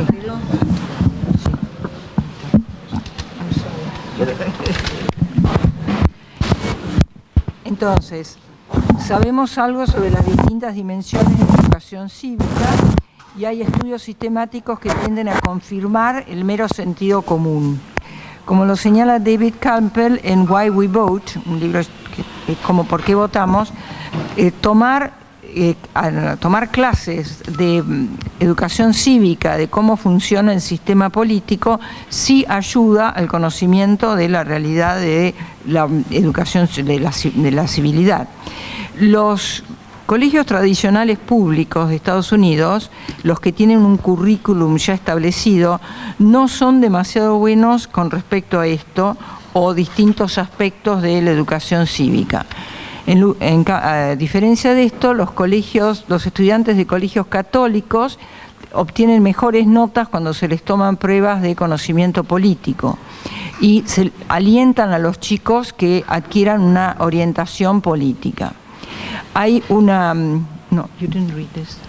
Yes, you did? Yes. Ah, Hay algunas pruebas de que, por ejemplo, los programas de voluntarios en los colegios, lo que se llama aprendizaje en servicio, como se los suele llamar, ayudan a proporcionar a los chicos un camino hacia la participación en su vida más adulta. Los estudiantes de colegios católicos y otros colegios no públicos, o sea, colegios privados en los Estados Unidos, tienden, tienden más a participar en servicios a la comunidad o en programas de servicios a la comunidad que los chicos de las escuelas públicas.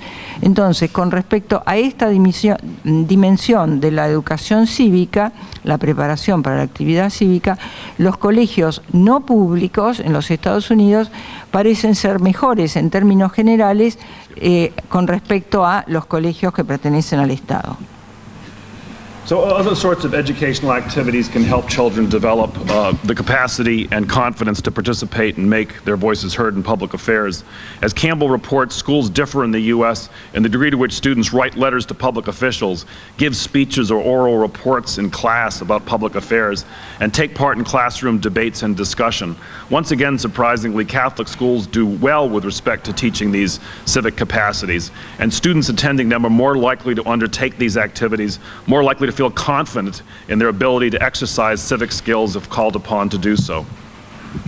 Otros tipos de actividades educativas pueden ayudar a los chicos a desarrollar la capacidad y la confianza para participar y hacer que sus voces se escuchen en asuntos públicos.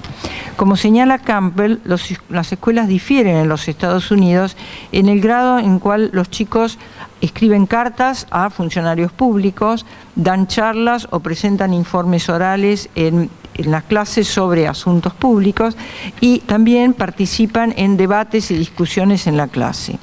Una vez más, los colegios católicos les va muy bien con respecto a la enseñanza de estas capacidades cívicas. Los chicos que asisten a esos colegios tienen mayores probabilidades de hacerse cargo y asumir estas actividades y además se sienten más seguros en su habilidad para ejercer las habilidades cívicas si se les pide que lo hagan.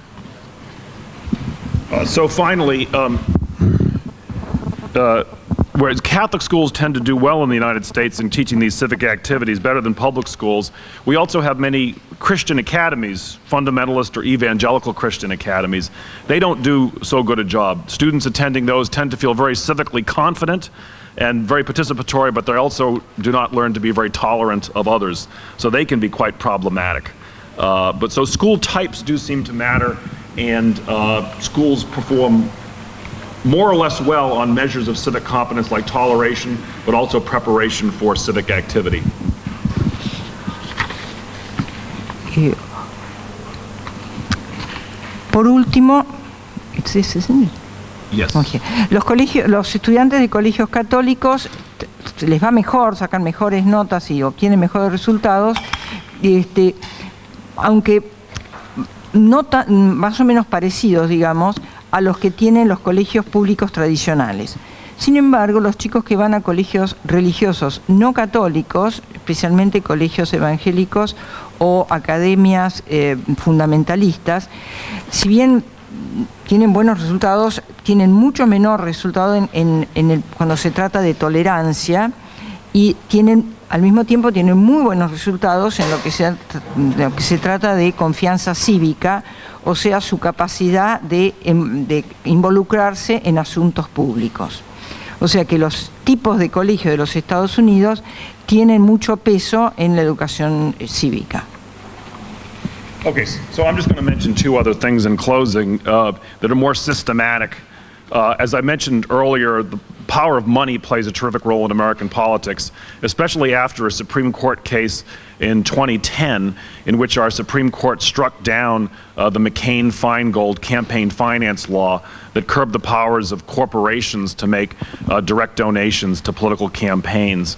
Uh, so the the, uh, uh, the power of money uh, is is very detrimental in American politics.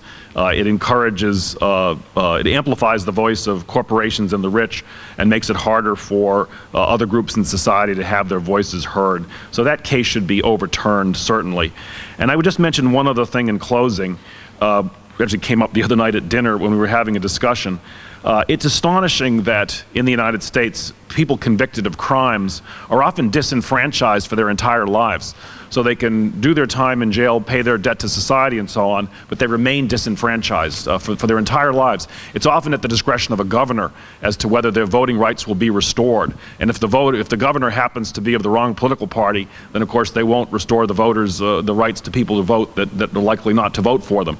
So a significant portion of, uh, of, of unfortunately, African American males in particular are not have been deprived of their vote, their right to vote for life, and that's deeply unjust uh, and ought to be uh, overturned. Eh, dos puntos más. En los Estados Unidos, el poder del dinero en la política contribuye a corromper el sistema y los, los funcionarios elegidos tienen que dedicar una cantidad enorme de tiempo a obtener dinero, a juntar fondos. Es necesario eliminar el caso que subió a la Corte Suprema, presentado por Citizens United en 2010, que el Citizens United decía que las los gastos de campaña no podían ser pagados por corporaciones. La Corte Suprema falló en contra porque dijo que esto iba en contra de la libertad de expresión. Entonces se volvió a las donaciones directas por parte de las, corporaciones a las campañas. Y Macedo piensa que esto hay que eliminarlo porque no hace más que eh, eh, corromper aún más el sistema. Y por último señala que en Estados Unidos aquellos que han sido condenados por crímenes pueden ir a la cárcel pagar todos sus crímenes y después irse de la cárcel y, quedar liberados, pero quedan sin posibilidad de votar por el resto de sus vidas. Y esto afecta y, esto lo tiene la decisión la tiene el gobernador del estado. Entonces depende de qué partido sea el gobernador, acepta o no acepta que alguien vuelva a votar. Y esto quiere decir que muchos, sobre todo negros de origen africano, se quedan sin derecho de votar por el resto de sus vidas.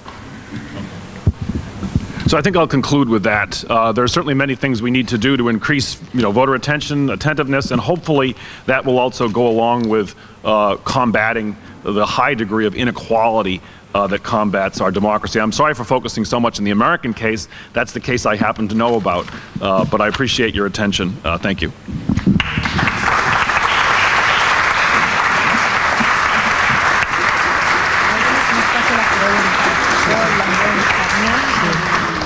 Bueno, quería decirles que terminó diciendo que eh, se dedicó especialmente, habló de Estados Unidos porque es lo que conoce y cree que eso va, que lo que van señalando podría ser una manera de mejorar, eh, la, prestarle mayor atención a la educación cívica y agradece la atención.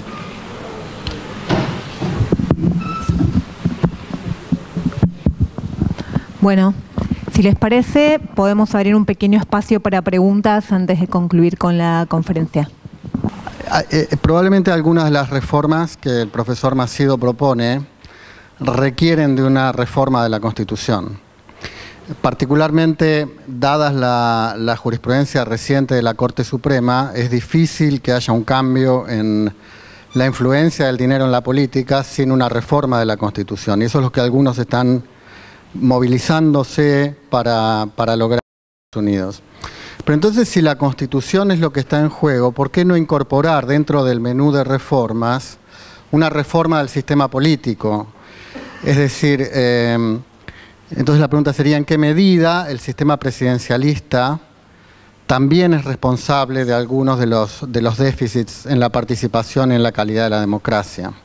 Entonces yo, diría eso, la reforma del presidencialismo, y por otro lado, la reforma del sistema electoral en Estados Unidos para ir a un sistema proporcional, tal vez eso tenga efectos más inclusivos, de incorporar más voces y más perspectivas eh, en la representación política, en el Congreso, y tal vez eso también se, tendría efectos positivos en la participación.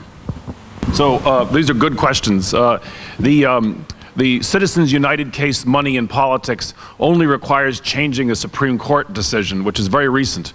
Uh, and uh, because Republicans have won a number of very close elections, partly due to this according to Bartel's manipulation of prosperity three to six months before the election and other things, they have, they have many seats on the court. So we don't have to amend the Constitution. We just have to reverse the, uh, the decision. But, but you're right. But as far as the Electoral College goes and proportional representation, I don't think that makes that much difference. Um, that is a popular subject in the United States. We don't vote for the president directly. We elect members of Electoral College and the small states are overrepresented because every state has two senators, you get two electoral college votes, and, and that makes a somewhat disproportion.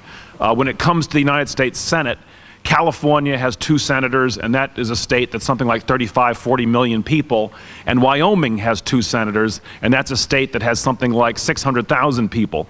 So it's something like 79 to 1 uh, Wyoming gets more representation in the Senate. And that reflects itself partly in the Electoral College, and so people have worried that there's a bias.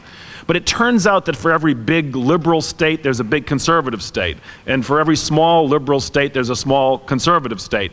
So there actually isn't much partisan bias uh, in the, uh, the big state, small state disproportion. Is that partly what you're getting at? Uh, no. Yeah. A parliamentary system, yes. Yes. Okay, that's fine. Mike, yeah, some people. Didn't hear your first reply. Oh, that's right. Sorry, sorry. I forgot. I forgot. I forgot. Eh, lo que dice Macedo es que el caso de Citizens United que mencionó sobre la reforma de la contribución electoral solamente requiere eh, cambiar o anular mm, el juicio de la Corte Suprema, no necesita una reforma constitucional. En cuanto al colegio electoral y que sea más representativo, él piensa que no hace mayor diferencia. Lo que sí hay, en este, en este momento existe una cierta falta de proporción porque hay estados muy pequeños que tienen dos representantes y estados enormes que tienen también dos representantes. Y dio el ejemplo de California y Iowa, que es decenas de miles por eh, miles. ¿no? Entonces se supone que hay una cierta, un cierto prejuicio a favor en, en cuanto al tipo de partido. Sin embargo, la realidad señala que a cada estado pequeño corresponde de un partido corresponde un Estado pequeño del otro y, lo mismo sucede con los grandes. O sea que eso no sería una diferencia tan grande. The second... Yeah. The second was a parliamentary versus a presidential system. Claro, el sistema parlamentario y presidencialista que fue el que señaló Marcelo. Yeah, so that's that's a that's a good one, uh, and uh, you have a presidential system too. So there are many people that feel uh, that democracy works much better if you have a parliamentary system that doesn't have a division between the executive branch and the legislature. So that when you elect a majority in the legislature, like in Britain, you also elect the member of the, of the uh, president, and sort of one party controls everything, as it were. And there are two schools of thought on that. You know, one is that we, at least we know who's responsible. There's not a division between where the part of we can have our Congress controlled by Republicans and the White House controlled by a Democrat, and it makes it harder to decide who's responsible. That's a fair point. On the other hand, having uh, the president elected separately from Congress slows down change. It means that it's hard for, for a president, perhaps a president with a small majority, to enact radical change. So, for example, George Bush wanted to repeal Social Security. Uh, you know, to privatize Social Security, and there were many Republicans that wanted to do that. They weren't able to do that because they didn't have, as it were, complete control of the government. They could have done it if we had a parliamentary system in which they were elected with a majority. So there are pluses and minuses, and there's no certainly no consensus. It, the, the, argument's been made for decades that a more parliamentary system would be more responsible, easier for voters to hold accountable. But there are virtues to a presidential system where change is slowed down. Uh, and uh, so, uh, so it, it's a good question, though, and it's not something that's settled. I would say it's something that political scientists still debate about. There was a big report called Towards a More Responsible Party System that was exactly this. It was that guy, E. E. Schattschneider, chaired it. But he called for a more parliamentary system in the United States. But many others responded with the kind of argument that I did, that you're better off slowing down radical change. Sí, la segunda pregunta Marcelo, que era si pasar del presidencialista al parlamentario, eh, él señala que sí, que hay mm, dos, situaciones. Entonces, en el caso en que un partido controla todo, que es el caso de británico, o sea, sería mejor que, el, control del legislativo estuviera en un partido y el ejecutivo en otro, pero eso tiene que esto lentifica los cambios. Eh, ahora, al mismo tiempo, el caso de Bush, cuando quería privatizar la seguridad social, no pudo hacerlo justamente porque no tenía todo el poder. Entonces, es una buena pregunta, sigue el debate y qué pasa con el sistema parlamentarista y el, presidencialista es un debate abierto y tiene pros y contras. Eh, quería preguntarle qué opina sobre el movimiento Occupy como este efecto de emergencia por fuera de los formatos jerárquicos de los partidos.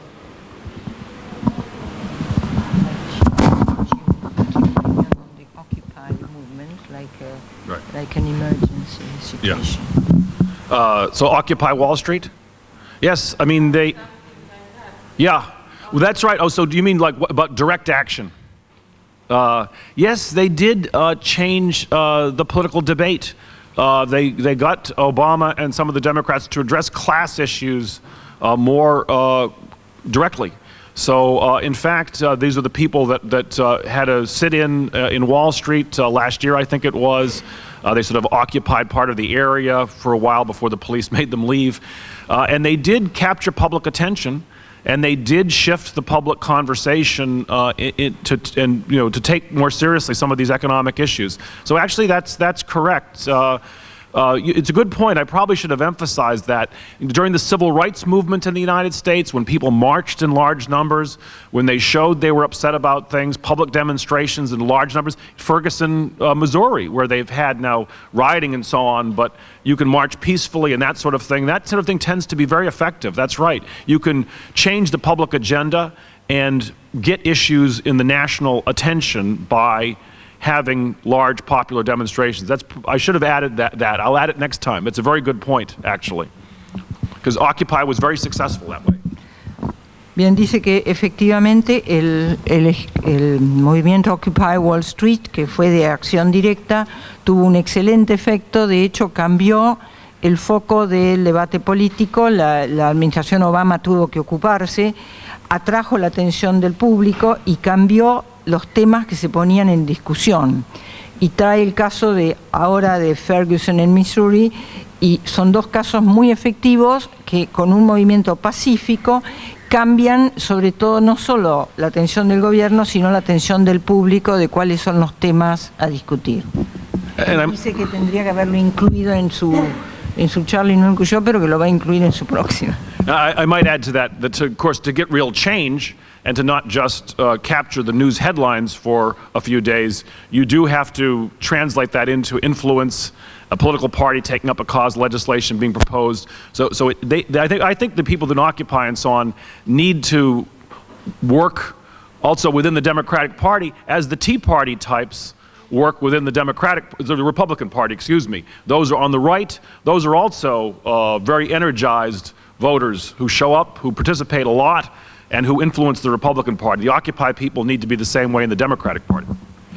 Él lo que dice es que si bien todo esto es muy positivo para obtener un verdadero cambio y no simplemente estar en salir en la primera plana de los diarios y los medios, necesitan trabajar dentro del sistema de partidos y da el ejemplo del Tea Party que lo hace desde el Partido Republicano participando en los en el sistema mismo, lo mismo tendrían que hacer los de Occupy Wall Street.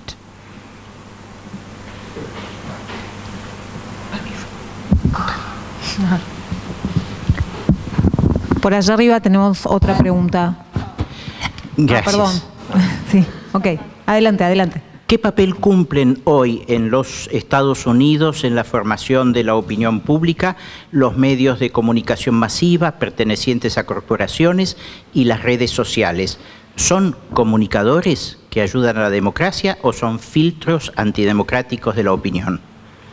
Uh, so corporate ownership of the media and what its role is and whether the media is really independent of um, well some of the media is. Uh, and this is actually one of uh, I didn't talk about this but one of the real problems I think another problem for, for democracy in America and elsewhere is the decline of newspapers uh, who paid many reporters to do investigations of government.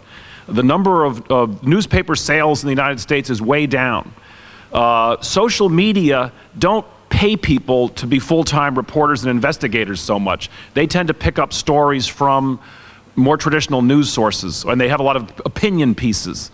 But things like the New York Times, the Washington Post with Watergate, also with Edward Snowden and so on, investigating uh, government secrecy and so on. News, uh, newspaper reporters have done a lot of very important work in uh, investigating government abuses and reporting on them. There's a, a New York Times reporter, James Rison, who's uh, under indictment for not revealing his sources.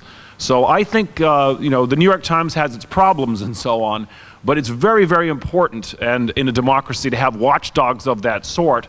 And traditionally, uh, local news reporters in states and so on have been very important in uh, exposing government abuses. And, uh, you know, we know from the last few decades that the Washington Post, the New York Times, the Guardian in the UK have played a role uh, in, uh, in exposing uh, these kinds of government abuses. So in, in spite of corporate ownership. Some of them are independent. Fox News, I think, is a, is a different story. Well, it has a party line. MSNBC is a television network that's very liberal. They mainly do opinion stuff and so on. So some media is just opinion, but some does very, very important investigative work of government abuses. Bien, eh, dice que sí, que la, la, mm, el hecho de que los, muchos de los medios estén en manos de corporaciones es cierto, pero sin embargo existen medios independientes y cree que un problema serio es la declinación de los eh, diarios, de los periódicos, que pagaban a reporteros e investigadores full time para que hicieran este tipo de trabajo de desenmarcar y, y investigar sobre problemas que pasaban en, el en los gobiernos y demás, e inclusive eh, había informes de mm, locales, de agencias de noticias locales, que hicieron excelente trabajo como cuidadores, guardianes de lo que pasaba en público. Menciona el New York Times, el Washington Post y el Guardian, y menciona un periodista del New York Times que está condenado porque no quiere revelar sus fuentes. Eh, habla de Fox y otros medios que evidentemente sí tienen líneas partidarias, pero sigue pensando que los medios eh, tradicionales aportan, aportaron y aportan mucho, cosa que no sucede con las redes sociales que toman datos de distintos lugares y sobre todo de medios mucho más eh, tradicionales y de golpe no tan investigativos. Tenemos eh, sí, una pregunta por acá y dos preguntas más que están como en lista y con eso cerraríamos este, la, la oportunidad para las preguntas. Eh, mi pregunta es, eh, tiene que ver con cómo concibe al ciudadano. Entiendo que por la exposición que he hecho, educación cívica se estaría reduciendo a la participación en el sistema político. Entonces mi pregunta es, ¿cuál es la concepción de ciudadano que maneja en su propuesta teórica? Okay, so I mean, um, well, a citizen is a share in political power. So uh, uh, a citizen is not just a subject of the law. A, a citizen helps to make the law uh, by uh, exercising a role in politics. So in a democracy, we're supposed to. Suppo the idea is supposed to be that over the course of time, the citizens rule through their representatives uh, but uh, in a way that public policy should reflect the will of the citizens. So, so in a democracy, a citizen is someone who shares in ultimate political sovereignty. The U.S. Constitution, probably the Argentinian Constitution, you know, begins "We the people" of the United States. It's supposed to be our government. It's supposed to be a government operating on our behalf, and uh, citizen activity, activity in politics, wider civic activity in public affairs, is is required if we're going to hold the government accountable to us.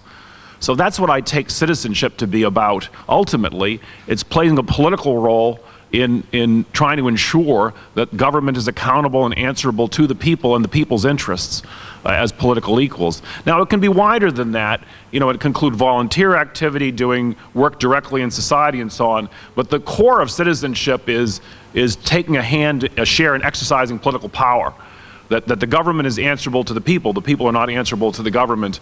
And uh, uh, uh, it is, you know, in mass elections, every X number of years, we at least get to do one thing, which is to throw out the people in power. Now, what you need is a real alternative. Uh, uh, uh, and, and more than just elections to make government responsive to the people. But, but in, in democratic societies, that's the idea that, that citizens collectively are ultimately the, the group that rules. Eh, dice que el ciudadano en realidad comparte el poder político y no es solo que eh, recibe la ley, sino que ayuda a elaborar las leyes, porque los ciudadanos deberían gobernar a través de sus representantes, y esto es lo que así empieza las constituciones de Estados Unidos, y nosotros el pueblo, entonces piense que es cierto que hay una actividad ciudadana mucho más amplia, pero que lo fundamental es que el, ciudadano participe y que además el gobierno deba rendir cuentas al ciudadano con respecto a lo que ha hecho y a cómo ha respondido a los intereses del ciudadano, que ese sería el núcleo básico del concepto de ciudadanía. Y que comparta el, poder político, si el ejercicio del poder político, eh, una de las cosas, dicen las elecciones, es que lo que se logra es sacar de, sus cargos a los políticos que estaban y que no, no respondían a las necesidades de los ciudadanos. Si bien puede haber otro tipo de acciones sociales, este sería el núcleo central en su opinión.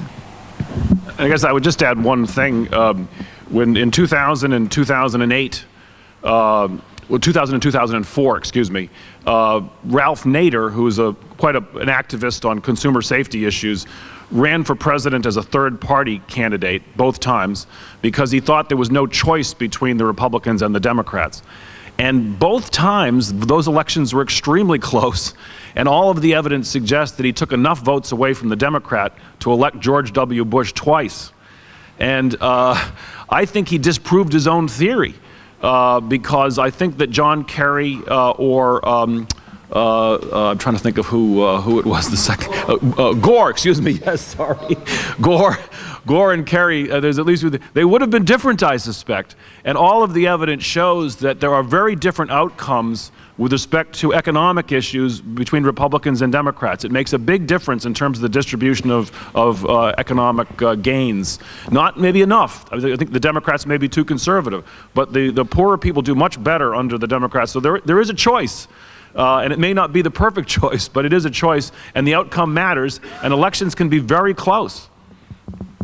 Eh, agrega que entre 2000 y 2004 Eh, una persona que estaba, eh, se ocupaba especialmente de temas relacionados con la seguridad del consumidor, consideró que no había mayor diferencia entre demócratas y republicanos, entonces se presentó a las elecciones y como tercer candidato y el problema fue que, en definitiva, contribuyó a que saliera George Bush como presidente y él piensa que, eh, digamos, refutó su propia teoría, porque en realidad sí había diferencias entre conservadores y republicanos, los pobres les va mejor con los demócratas que con los republicanos, y que eh, eh, esta, esta cuestión de que habría dos partidos se ve, beneficia en realidad porque sí hay, eh, digamos, acentos puestos en distintos lugares.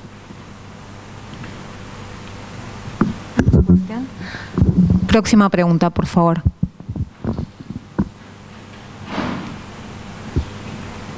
Okay. Hello? Okay.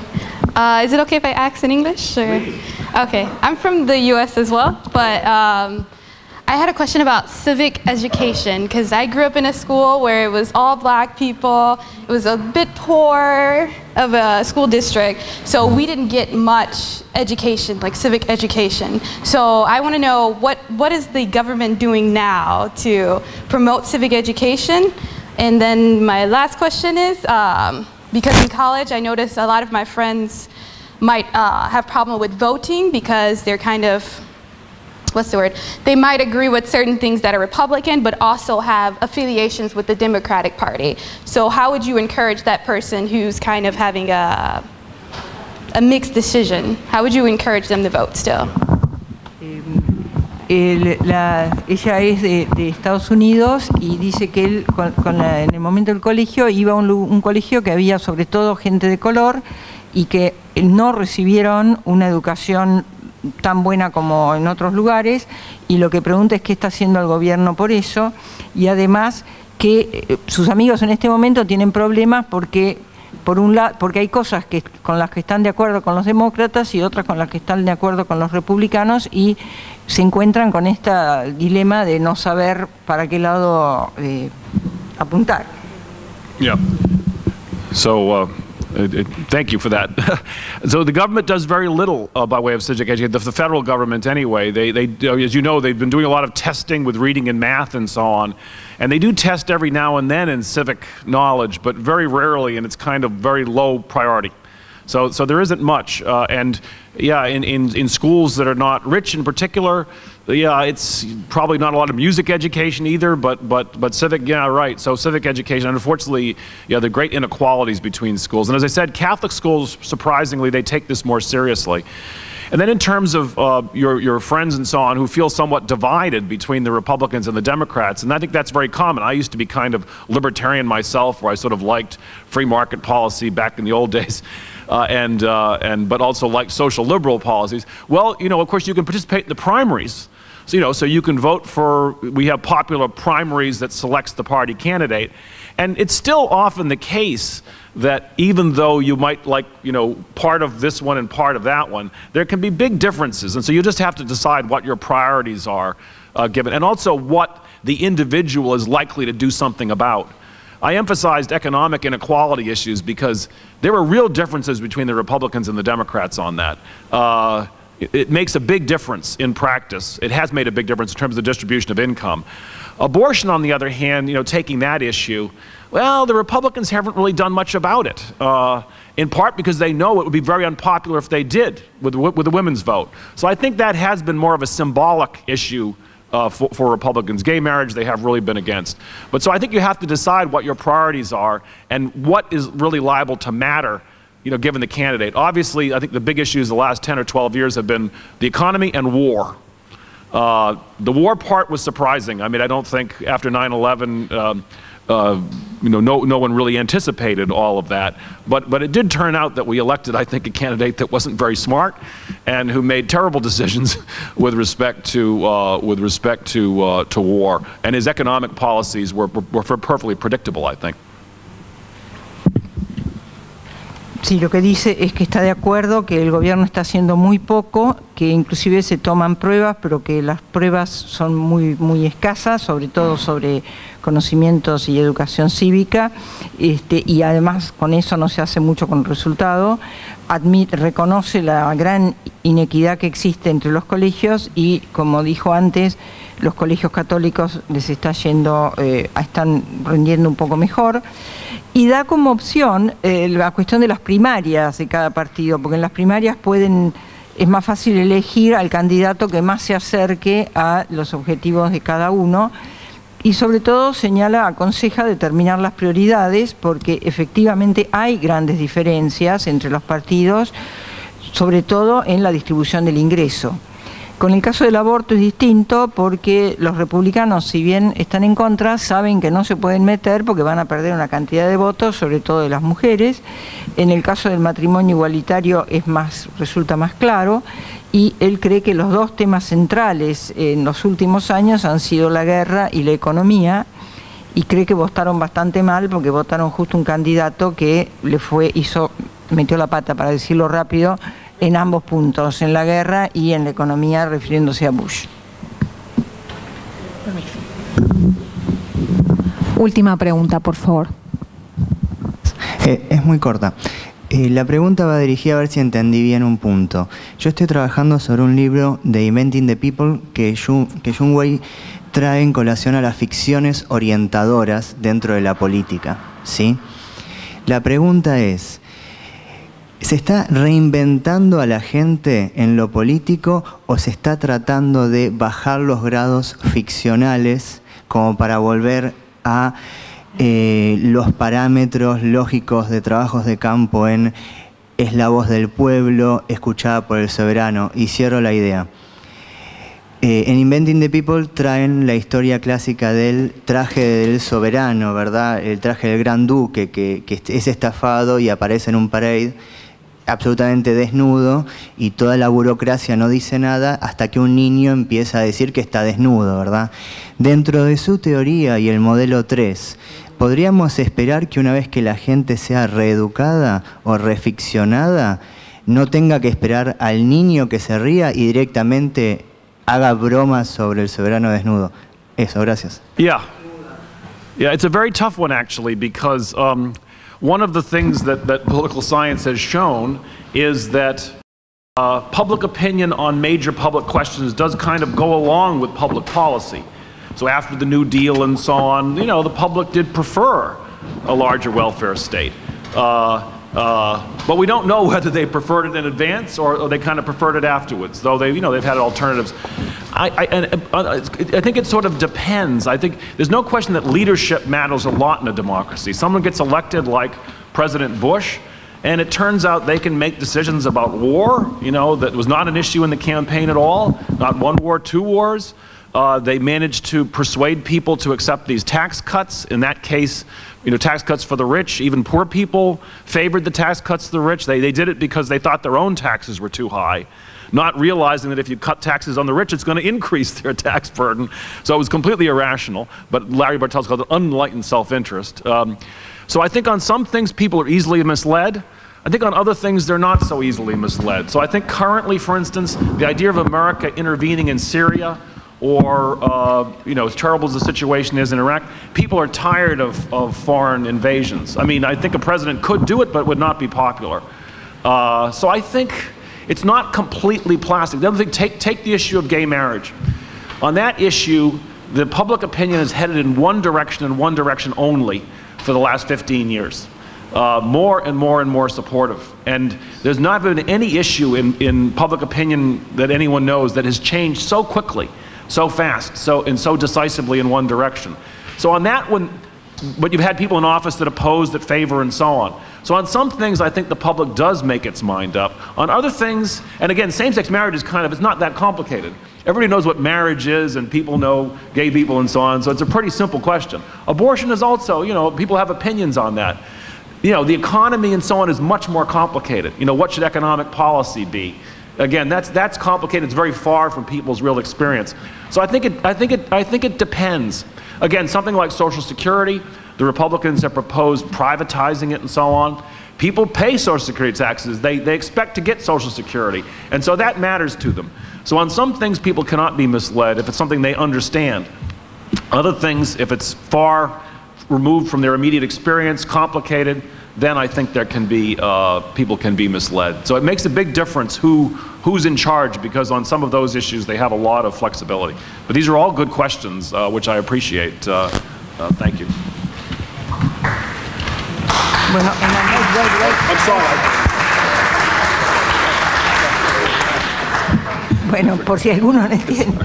Eh, en algunos asuntos eh, la, la opinión pública sí se puede guiar y en otros no. Él dice, bueno, él, como que resumió la pregunta en si la opinión pública va por delante o si sigue, ¿no? Y él dice que la ciencia política muestra que, por ejemplo, en cuestiones de políticas públicas, muchas veces la gente sigue lo que el gobierno dice. Ahora la pregunta es, porque lo seguía antes, o sea, estaba de acuerdo antes de que el gobierno implementara la política. Y, por- y da el ejemplo del caso de Bush, que fue el que mencionó en, el- en la ponencia, cuando la- mucha gente pobre favoreció la, rebaja de impuestos pensando que, como sus impuestos eran altos, bajar impuestos significaba que le bajaba a todos sin darse cuenta lo que estaba sucediendo.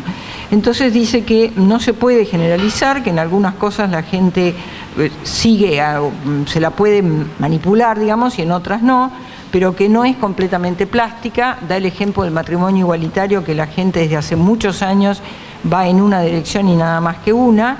Y esto es una cuestión bastante simple porque la gente conoce y tiene amigos homosexuales o, está en esa situación o lo que fuere. Y con el aborto sucede algo similar. En cambio, cuando se trata de la economía es bastante más complejo y ahí depende mucho qué sucede, la opinión pública, cómo, si la pueden manejar o no. Con la seguridad social también es un caso de como toda la gente tiene interés en la seguridad social, no, no pueden manipularla con semejante facilidad. O sea que en general me parece que la, la síntesis que él propone es que no se puede generalizar con respecto a la manipulación de la opinión pública. Bueno, eh, damos entonces por finalizada la conferencia del doctor Stephen Macedo, a quien le agradecemos especialmente su participación en este programa de la Universidad de Buenos Aires para el siglo XXI. Así que, doctor Macedo, en nombre de la Universidad de Buenos Aires, muchas gracias por su presencia y a todos ustedes por participar de esta conferencia.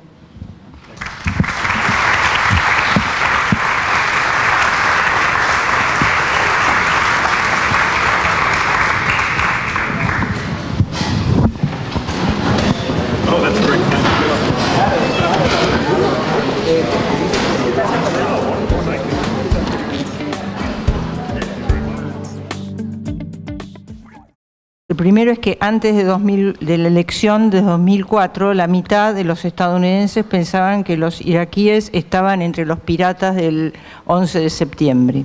El segundo ejemplo es que en, la cúspide de la Guerra Fría, la mayoría de los estadounidenses no sabían si Rusia pertenecía a la OTAN o no.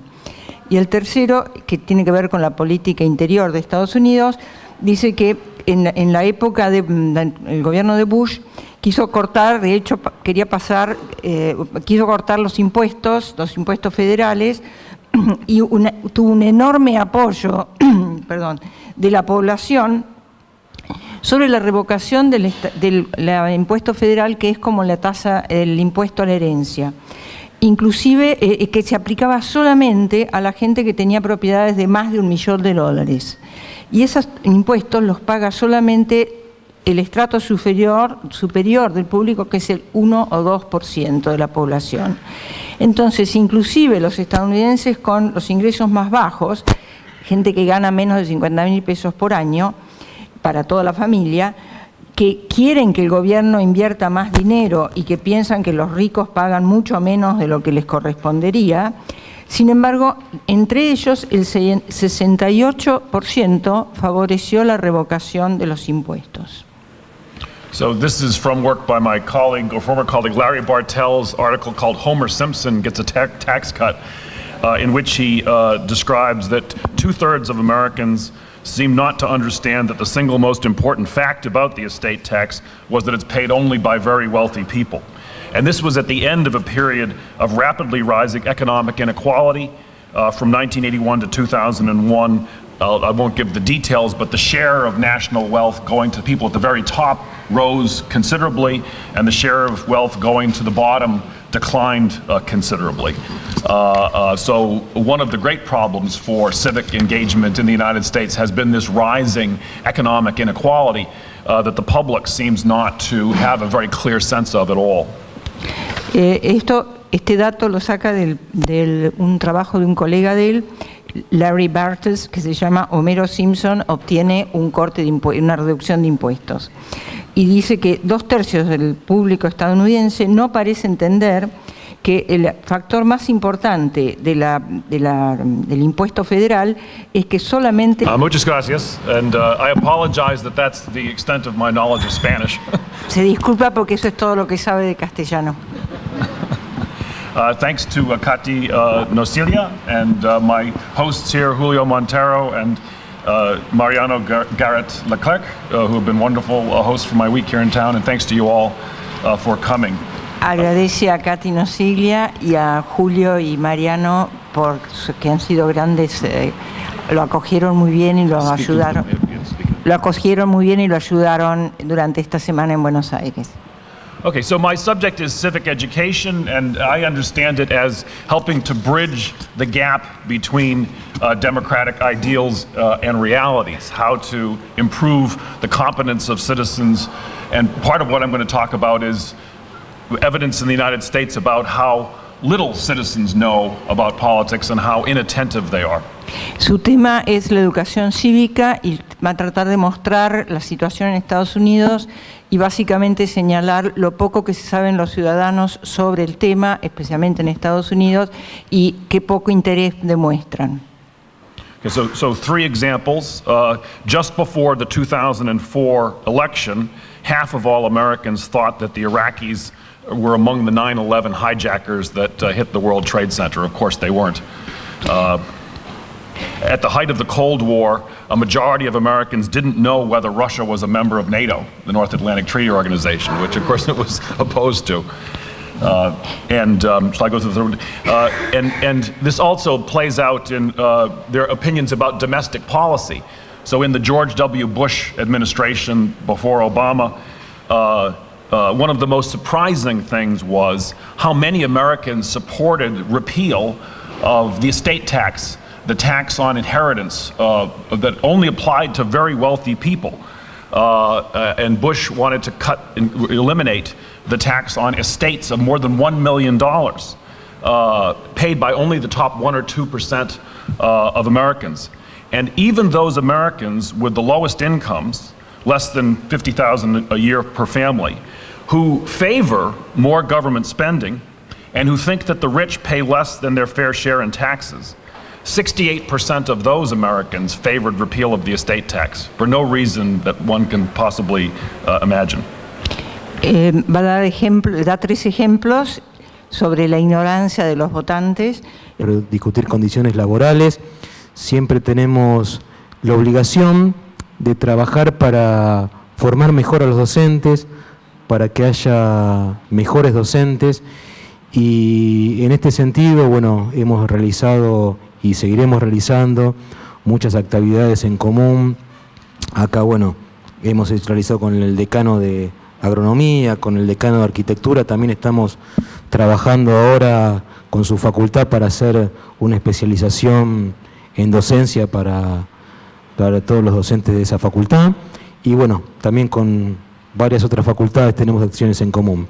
Nosotros entendemos que el, docente tiene la obligación de ser cada día mejor docente, tener un mayor compromiso social, un compromiso no solo con nuestros alumnos, sino con toda nuestra sociedad. Así que creo que también es muy importante las actividades que está realizando la universidad de cara al siglo XXI. Me parece que la Universidad de Buenos Aires, como una de las principales universidades de Latinoamérica, también tiene el desafío de día a día renovarse, mejorar y mejorar su capacidad académica. Así que simplemente, bueno, agradecer la presencia de todos ustedes y bueno, ahora pasarle la palabra al decano y amigo de la Facultad de Agronomía para que haga esta presentación. Así que muchas gracias a todos y muchas gracias, profesor Macedo, por estar acá. Bueno, gracias.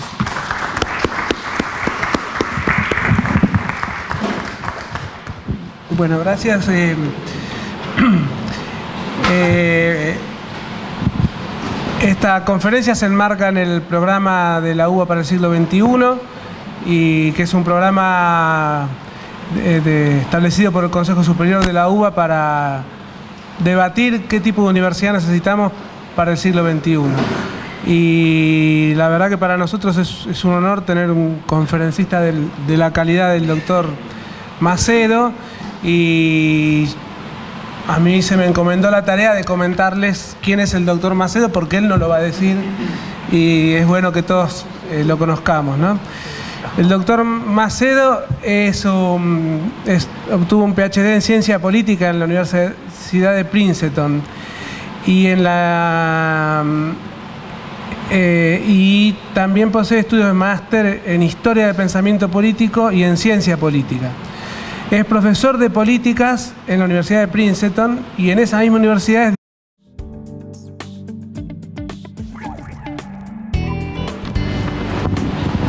Muy buenas tardes, bienvenidos a esta nueva actividad que se realiza en el marco del programa La Universidad de Buenos Aires para el siglo XXI, que contará a lo largo de estos meses con conferencias, paneles, foros y otras actividades. En esta oportunidad asistimos a la conferencia titulada Lecciones aún no aprendidas. El señor Stephen Macedo, que estará aquí con nosotros también trabajando en esta presentación con todos ustedes. Recuerden que están en vivo, también lo pueden seguir por programa siglo21.rec.ua.ar. La presentación del doctor Stephen Macedo estará a cargo del decano de la Facultad de Agronomía, Rodolfo Boluccio. Estarán acompañados también por la secretaria de Asuntos Académicos de la Universidad de Buenos Aires, la profesora María Catalina Nosiglia y el secretario general de ADUBA, el doctor Daniel Ricci. Bueno, eh, muchas gracias. Cambiamos el micrófono. Buenas tardes a todas y a todos. Lo mío va a ser muy breve. Voy a hablar despacio porque me dicen que al profesor Macedo lo tienen que ir eh, traduciendo. Primero que nada, agradecerle y darle la bienvenida al profesor Macedo y agradecerle el esfuerzo de trasladarse y venir hasta acá para el dictado de, de esta conferencia. Y simplemente decir que esto tiene que ver con varias actividades que venimos realizando en conjunto entre la Asociación de Docentes de la Universidad de Buenos Aires y la Secretaría Académica de la, Universidad. Este, agradecer bueno, todo el trabajo conjunto que hacemos con la licenciada Catalina Nosiglia, Katy para los amigos. Y a partir de esto ha surgido como uno de los principales puntos de trabajo en común la maestría en docencia universitaria, cursada ya por más de 200 docentes universitarios, de las cuales bueno, forman parte de su consejo de dirección Marilisa Lisman y Marcelo Betancourt, que andan por ahí, no, no sé por, por dónde en este momento. Y bueno, nosotros siempre decimos que como gremio docente, más allá de nuestra responsabilidad de discutir salarios. Director del Centro Universitario para los Valores Humanos, desde el año 2001. Eh, comenzó su carrera como docente en la Universidad de Harvard, en el Departamento de Gobierno, y luego se desempeñó en la Universidad de Siracusa. Escribe y enseña sobre teoría política, ética, políticas públicas y leyes, especialmente sobre temas relacionados con el liberalismo, democracia y ciudadanía, diversidad y educación cívica, religión y política y familia y sexualidad. Un espectro amplio de temas. Sus investigaciones actuales refieren a la, inmigración y la justicia social, la democracia constitucional en los Estados Unidos y la democracia y las instituciones internacionales. Desde 2001 hasta 2009 se desempeñó como director del Centro Universitario para los Valores Humanos, como dijimos antes, y como director y fundador del programa de Derecho y Asuntos Públicos, presidió el proyecto Princeton sobre jurisdicción universal. Ayudó a formular los principios de Princeton sobre la jurisdicción universal y editó un libro titulado Jurisdicción Universal, los tribunales internacionales y la Fiscalía de graves crímenes bajo el derecho internacional. Por otro lado, como vicepresidente de la Asociación Americana de Ciencia Política, presidió su Comité Permanente sobre Educación Cívica y Compromiso y fue el principal coautor de otro libro que se llama Democracia en Riesgo, cómo las opciones políticas socavan la participación ciudadana y qué se puede hacer sobre ello. Posee numerosas publicaciones en su especialidad y entre sus libros se mencionan especialmente Diversidad y Desconfianza, Educación Cívica en una Democracia Multicultural y Virtudes Liberales, Ciudadanía, Virtud y Comunidad en el Constitucionalismo Liberal. Es coautor y coeditor de Interpretación Constitucional Americana con W. Murphy y J. Fleming y S. Barber. Y eh, con esto cierro la sinopsis de nuestro conferencista. Muchas gracias.